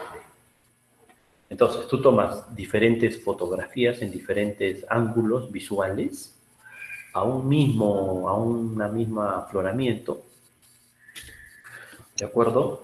Tiene todo un proceso, hay que diseñar primero el, el en base a si es un túnel o si es un talud, ¿no? Tienes que hacer un diseño, tienes que equiparte, tienes que ver si vas a usar cámara o vas a usar drone. Puede ser cualquiera de los dos. Inclusive hay papers, he leído últimamente papers, en donde usando las cámaras de los iPhone, ¿de acuerdo? Les dan casi los mismos resultados que utilizar una cámara profesional. Hay empresas que ya se dedican a la venta de cámaras estereográficas, ¿no? Y prácticamente es una cámara computadora donde te lo hace todo, lo conecta a un USB y te bota ya la información, ¿no? Después tenemos que ejecutar la información. Necesitamos puntos de control, ahorita vamos a hablar de eso, y el procesamiento final en una computadora. Es generar el modelo en 3D. Entonces, tenemos, por ejemplo, si es una, para generar topografía, lo que se ha difundido bastante es la generación topográfica de esta información. ¿De acuerdo? Entonces, eh, puede ser con, en este caso ya con un dron, ¿de acuerdo? Tomo fotografías que tengan un traslape superior al 50%, ¿De acuerdo? Pero ojo, hay algo importante en esto. Igual tengo que hacer campo. ¿Por qué? Porque tengo que ponerle puntos de control con estación total o estaciones GPS, GPS geodésicas. ¿No? ¿Qué hago yo teniendo una imagen en 3D bien bonita? Si, si para nosotros, los geólogos, los civiles, los mineros, no está en una coordenada correcta. No nos sirve esa información. ¿No es cierto? Entonces tenemos que llevar puntos de control, ¿de acuerdo? Que se reflejan en las fotografías, ¿sí? Entonces marcamos los puntos antes de tomar las fotos, de hacer los vuelos. Este es el área, por ejemplo, que yo voy a mapear, voy a generar topografía aquí. Marco los puntos de control, en mi vuelo, en las fotos salen los puntos de control y yo sé por estación total, ¿de acuerdo? O por GPS, yo sé la coordenada exacta submétrica con milímetros de error, ¿de acuerdo? De ese punto. Entonces, en el programa correspondiente, en cualquiera de ellos, pongo la coordenada y el traslape respectivo. ¿De acuerdo? Acá tenemos una vista, por ejemplo, en este software, el Pix 4D. Tenemos acá las diferentes vistas que ha desarrollado el drone. Acá, están, acá hay un punto de control, por ejemplo, para esta área. Hay muchos más, pero estoy mostrando un punto de control para que me pueda referenciar en, el espacio estas vistas dadas a partir de un drone. Finalmente, por ejemplo, este es un ejemplo que, este es un trabajo que nosotros desarrollamos hace un tiempo para una mina en un tajo. Hicimos lo mismo con el dron. Lo bueno del dron que era, era que podía mapear zonas inaccesibles, zonas en donde los bancos o las bermas estaban dañadas, había derrumbes, o era zona de constante caída de rocas, y no podemos caminar en la zona por seguridad, entonces mandábamos al dron. Tomábamos muy buenas fotografías, hacíamos, aquí están las fotografías, ustedes pueden ver, ¿de acuerdo? Generábamos la nube de, puntos, lo convertíamos en un modelo 3D y lo que ustedes ven acá son los planos de discontinuidad. Cada, cada color distinto significa un joint set. Es decir, una misma familia de discontinuidad. Los verdes, los rojos, los azules, los azules, morados y los azules. ¿De acuerdo? Y finalmente, con esta información extraída, con otro programa, generábamos su proyección estereográfica. Inclusive, a veces, si tú te acercas mucho al dron o mucho a la cámara, puedes determinar el RQD. Incluso mucho mejor que el pin de Barton. Perdón, la rugosidad. Y muchachos, finalmente, no se olviden, por favor, este tema, que para cuando nosotros decimos macizo rocoso, nos referimos a la roca intacta que incluye discontinuidades. ¿De acuerdo? Aquí un poco de bibliografía de lo que utilicé esta información. Bueno, por mi parte eso sería todo. Muchísimas gracias por su participación y estoy atento a las preguntas respectivas que tengan. Eh, bueno, ingeniero, Mm, bueno, agradecerle otra vez por esta presentación y por su tiempo. Eh, vamos a pasar a la hora de preguntas, mm, las que se han realizado por chat. Comenzamos con el participante Flavio Pinto Moyenda. Ha preguntado, ¿el número de estaciones geomecánicas estaría en relación a la longitud del túnel? Eh, no, eh, no, no necesariamente. Ok, bueno, hay varias preguntas, vamos a entonces a tratar de responder todas. Eh, ya, eh, el número de estaciones geomecánicas se refiere a la variación de la misma roca en sí. Por ejemplo, tú tienes un túnel de un kilómetro, ¿de acuerdo? Entonces te han pedido que remapees todo el túnel. Ya, entonces lo que tú haces es, eh, utilizarías para este caso el método de celdas estructurales, más que de líneas de detalle. ¿no? Se, se considera más para, para taludes. Entonces, lo que haces es tú este, empiezas a mapear, caminas, caminas, caminas y verificas dónde las condiciones cambian las condiciones de la discontinuidad. Es decir, si tú tienes que en 20 metros la separación, la apertura, la rugosidad y las orientaciones son las mismas, entonces tienes ahí una estación de 20 metros. Tú sigues caminando y encuentras un sector de 10 metros, súper fracturado, prácticamente molido, una zona de falla. Esta sería tu estación número 2. Sigues caminando y encuentras que en 80 metros tienes otra secuencia, las mismas condiciones separación, apertura, rugosidad, desgraciado, persistencia. Ok, esos 80 metros, tu estación geomecánica. ¿De acuerdo? Puedes elegir ese método o puedes elegir, no, cada 10 metros voy a tomar mi estación. ¿Sí? Cada 10 metros o cada 100 metros voy a tomar mi estación. Esos cada 10 metros, ¿para qué te ayuda? Para que tú veas cada 10 metros cómo varía la roca en su RT. que es un parámetro importante. O puedes usar los dos. Haces un mapeo cada 10 o cada 20 metros, o haces 10 es un mapeo característico. Donde cambian las condiciones, algo en estación.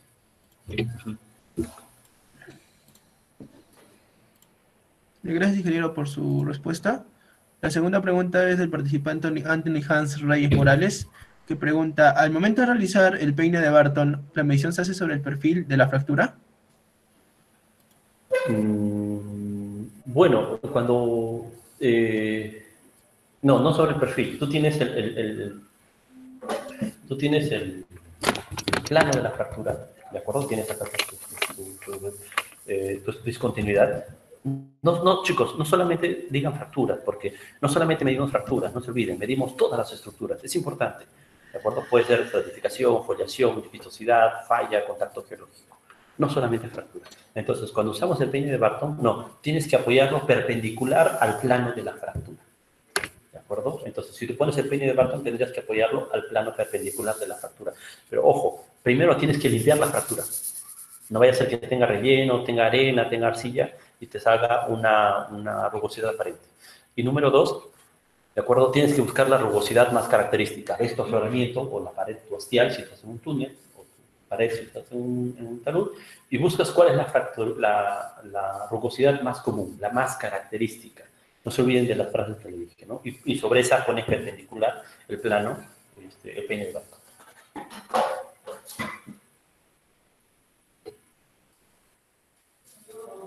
Gracias, ingeniero. Eh, otra pregunta del participante Frank Riveros. Si la arcilla es considerado como relleno suave, ¿la arena cómo se considera? También, relleno suave. Si se lava rápido con agua, si, si el material se, lava, se lava con agua, entonces es relleno suave. Estamos hablando de gravas, arenas, arcillas, limos. Todo lo que son finos y materiales detríticos. Los duros serían los que están ya consolidados o solidificados, ya prácticamente cristalizados. Rellenos de cuarzo, rellenos de, sulfuros, pirita, cacopirita, ¿de acuerdo? Calcita, comunes también en yacimientos mineros. listo, muchas gracias ingeniero. Eh, la siguiente pregunta es del participante Edgar Condori Anco, que dice, ¿cómo lograr el espaciamiento en un estrato de lutitas? Mm, es una excelente pregunta. ¿De acuerdo? Eh, la, la, lutita tiene un problema, la lutita es friable. ¿De acuerdo? Entonces, a veces la lutita, cuando está muy deformada, presenta foliación. ¿Sí? Entonces, eh, lo recomendable, lo recomendable ahí, y la lutita es un tema muy delicado, ¿de acuerdo? Las lutitas, por lo general, su calidad de roca sale media a mala. Y generalmente las que yo he trabajado siempre han sido malas. ¿Por qué? Porque la lutita, cuando se meteoriza, cuando hay esa degradación este, física, se convierte en arcilla. Y la arcilla es el peor material para construir algo, tanto como cimentación, como con talud o sostenimiento. Entonces hay que tener bastante cuidado yo te recomendaría que verifiques, eh, y ojo, y si estás en un yacimiento minero más todavía, porque la voladura la va a degradar más, la va a fracturar más y va a generar más colisión aparente, que no es natural. Entonces yo siempre recomiendo eh, eh, buscar afloramiento de esa litología que estás mapeando en la mina, si es mina, de acuerdos superiores, superficiales o naturales, para que veas cómo es la condición real de esa litología ¿de acuerdo? Y definitivamente tendrías que tomar toda la información. En tanto más información la tomes, si te sale el, espaciado de 10, 20 centímetros, tómalo 10, 20 centímetros. Y el RQD te va a salir súper bajo. Bien, ingeniero, muchas gracias. El participante Miguel Palú pregunta, ¿qué dice usted sobre la vías corrección en DIPS? Eh, mira, eh, esa es una corrección de errores, ¿de acuerdo? Entonces, eh, si gustas, lo puedes utilizar. Eh, ¿sabes, cuándo no usas, ¿Sabes cuándo usas esa información? Cuando la cantidad de tu data es poca. Yo te recomiendo siempre tomar una buena cantidad de información. Eh, ¿Qué es lo que te dice la estadística con respecto a la población de, data, o la data poblacional? Te dice, si tú, por ejemplo, tomas cuatro familias de discontinuidades, si te encuentras en un afloramiento cuatro familias de discontinuidades, ¿de acuerdo? Entonces te dice que la mínima cantidad poblacional para que, para que un dato sea estadísticamente eh, trabajable es 5%. Es decir, que si tú eh, tomas 100 eh, datos de discontinuidades, la familia 4 debe tener como mínimo 5 datos. Como mínimo 5 datos. ¿De acuerdo? Eso ya te va a ayudar para que estadísticamente el análisis e interpretación sea correcto. Entonces, el BIA se utiliza más que nada cuando no tienes mucha información.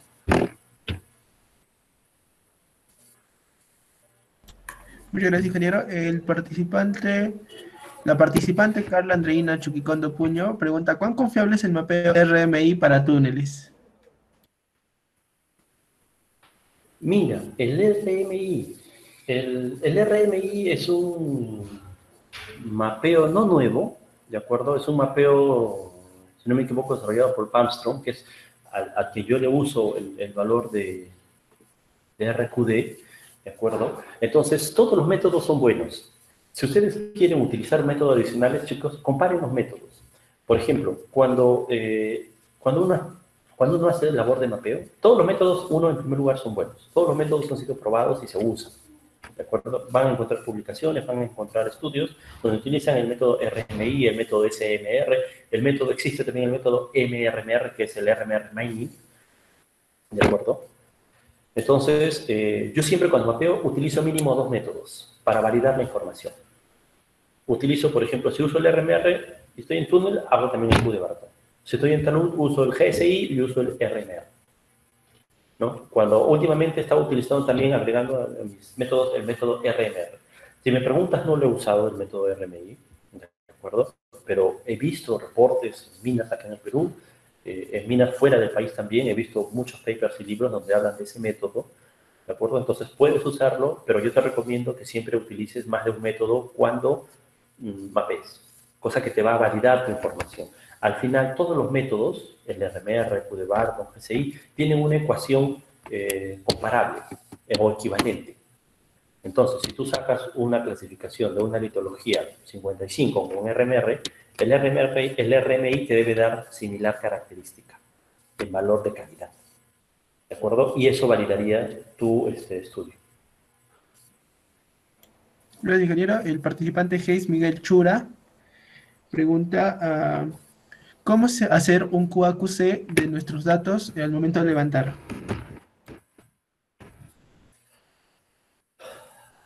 Mira, esa es una excelente eh, observación. Hace poco estuve conversando con un especialista en QAQC, ¿de acuerdo? Él, hace el control de calidad para el muestreo, ¿sí? Eh, para el muestreo, por ejemplo. Entonces, eh, el muestreo es crítico, ¿no? Tienen que tener un buen peso, tienen que tener un buen cuarteo, los procedimientos tienen que ser similares. Entonces, conversábamos y él me decía, para lo que es geomecánica, se puede hacer un control de calidad al protocolo de secuencia de, de trabajo. Dicho de otras palabras, a los PET. ¿no? Para los que trabajamos en minería, nosotros sabemos que el PET es procedimiento escrito de trabajo. ¿no? Entonces, eh, haces, una guía adecuada de pasos en cada uno y cuando haces tu, tu, tu QAQC, ¿de acuerdo? Verificas si es que han seguido esa secuencia de pasos. Porque eso debe estar en tu registro fotográfico. Tienes que, uno de los pasos es revisar la, el control de calidad, puede ser, por ejemplo, revisar la libreta. ¿no? Tú generas tu formato. Tú generas tus formatos de, de campo, ¿de acuerdo? Y tienen que ser auditables tú generas tu, data en brújula electrónica, brújula digital y tiene que ser auditable. Entonces tú le das a tu personal de campo o a ti mismo, te, te generas un formato que sea este, auditable.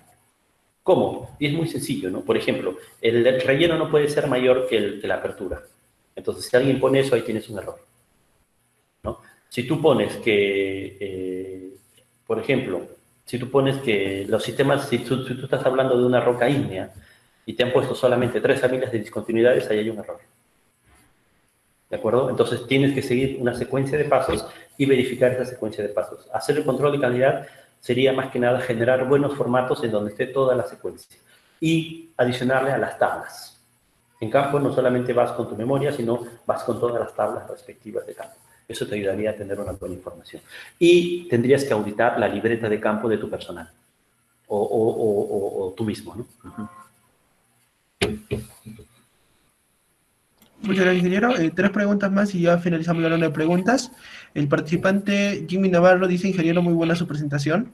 Con respecto al método fotogramétrico, una vez que tengamos un modelo 3D en base a nuestra nube densa de puntos, ¿qué software recomienda para poder obtener un modelo 3D de discontinuidades o agregarlas y así poder hacer un buen mapeo geomecánico remoto. Ok, eh, este, este método es bastante nuevo, o sea, para aplicación a minería, geología, es nuevo. Para otras aplicaciones ya tiene más de 30 años.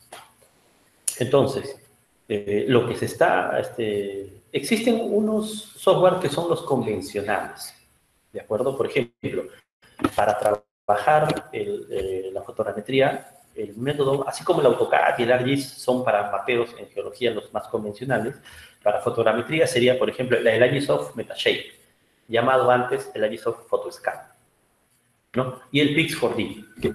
Son los dos software que hacen toda esa información, captan la nube de puntos, ponen los, puntos de control, te hacen la, georreferenciación, te hacen el ajuste, un resampling, te hacen un muestreo te generan una, la textura, pones la textura y te generan el 3D. ¿no? Y después de eso, eh, eso es para generar solo la nube de, 3D. Eh, después de eso existen software tanto comerciales como libres que te permiten desarrollar este, proyecciones, extraer proyecciones estereográficas, ¿no? como el DSE de España o el Cyrovision, ¿no? que es un software, el DSE es gratuito, desarrollado en MATLAB, y el Cyrovision es un software comercial desarrollado por Datamine. Muchas gracias, ingeniero. Eh, Luz Esther Guillén Quiroz pregunta, eh, según el mapeo que realice, ¿en qué momento o en qué caso debo recomendar hacer ensayos de compresión triaxial y de tracción? Ok, eh, muy bien. como les comentaba, los ensayos los tienes que desarrollar dependiendo del nivel. Por ejemplo, eh, tú vas a mapear un, un, tarut, una carretera, y el estudio depende del nivel del estudio. Todo depende, muchachos, del nivel del estudio. Si es un nivel, por ejemplo, conceptual, un nivel de perfil o prefactibilidad, básicos, estudios básicos, entonces puedes hacer ensayos in situ, tipo martillo geólogo y esclerómetro o, martillo Smith. ¿De acuerdo? Eh, si tus estudios son más complejos, es decir, ya prefactibilidad, factibilidad, definitivo, entonces ya le puedes agregar resultados de laboratorio. Si estás hablando de prefactibilidad, factibilidad, le puedes agregar carga puntual. ¿De acuerdo? Si estás hablando ya de estudios definitivos, ya le agregas compresión triaxial, le agregas corte directo, le agregas tracción y compresión uniaxial. Dependiendo de la complejidad, y, valgan verdades, depende bastante también de la complejidad y del presupuesto que tenga tu proyecto. Si tienes una, una buena roca, vas a construir una presa sobre un afloramiento rocoso, la roca es un batolito, estamos hablando de un granito, por ejemplo, en la Cordillera Blanca, quieren construir una presa en una de, las quebradas. Entonces, esa roca tiene taludes de 400, 500 metros de altura, el espaciado son de 3, 4, 5 metros. Y bueno, yo soy, yo soy de ahí, conozco bien esos afloramientos. Entonces, eh, casi nulo intemperismo, nada de deformación.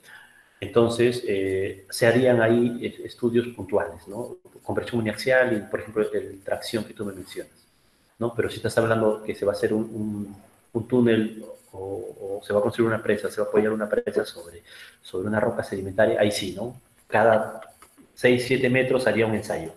¿Por qué? Porque las rocas sedimentarias, sus propiedades físicas y mecánicas varían. ¿No? Entonces no, no, no, no elegirías por litología, ah, tengo uno por litología, no, tendrías que hacer cada tres o cuatro metros, tendrías que hacer un ensayo.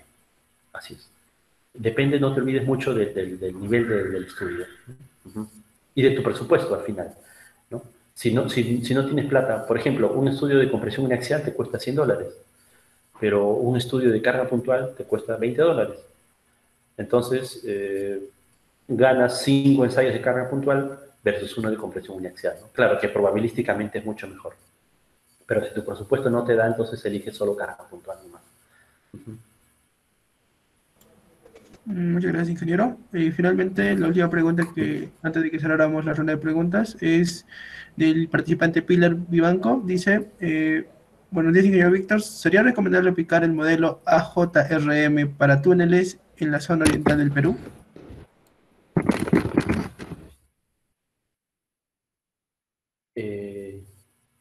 ¿Podrías explicar, por favor, eh, ¿Podría repetir la, la, la, pregunta?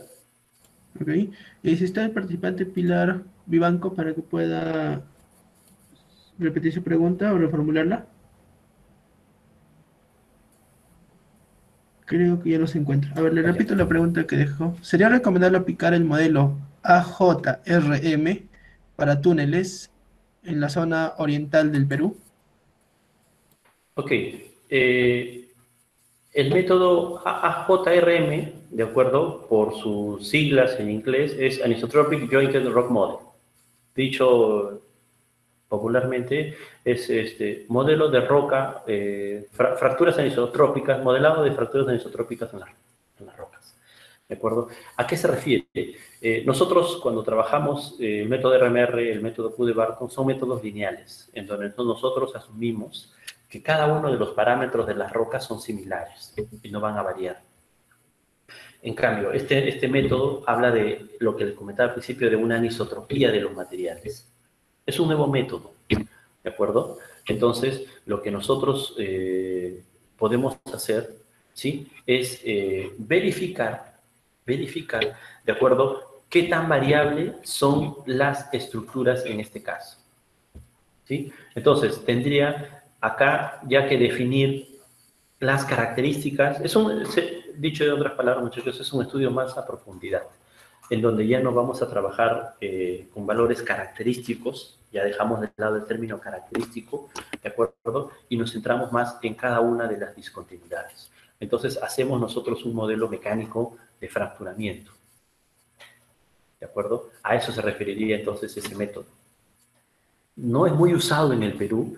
Si se recomendaría usar, claro, todo método, todo método es recomendable, ¿de acuerdo?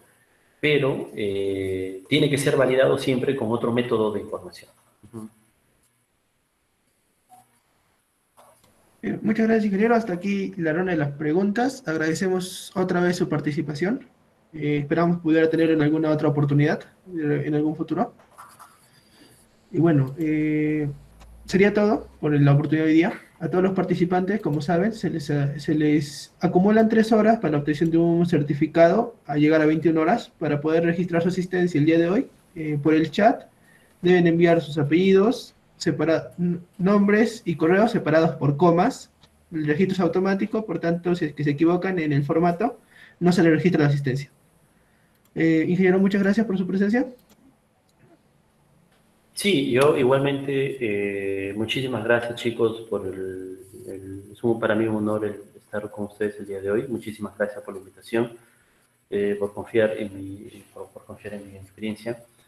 Eh, bueno, yo ya les he compartido también ya el, PowerPoint, ¿no? En PDF, para, que lo puedan este, distribuir. Entonces nos mantenemos en contacto y a ver si de repente es posible hacer un o aperturar el capítulo, si no esté ya aperturado, en la San Marcos con los estudiantes de geología también.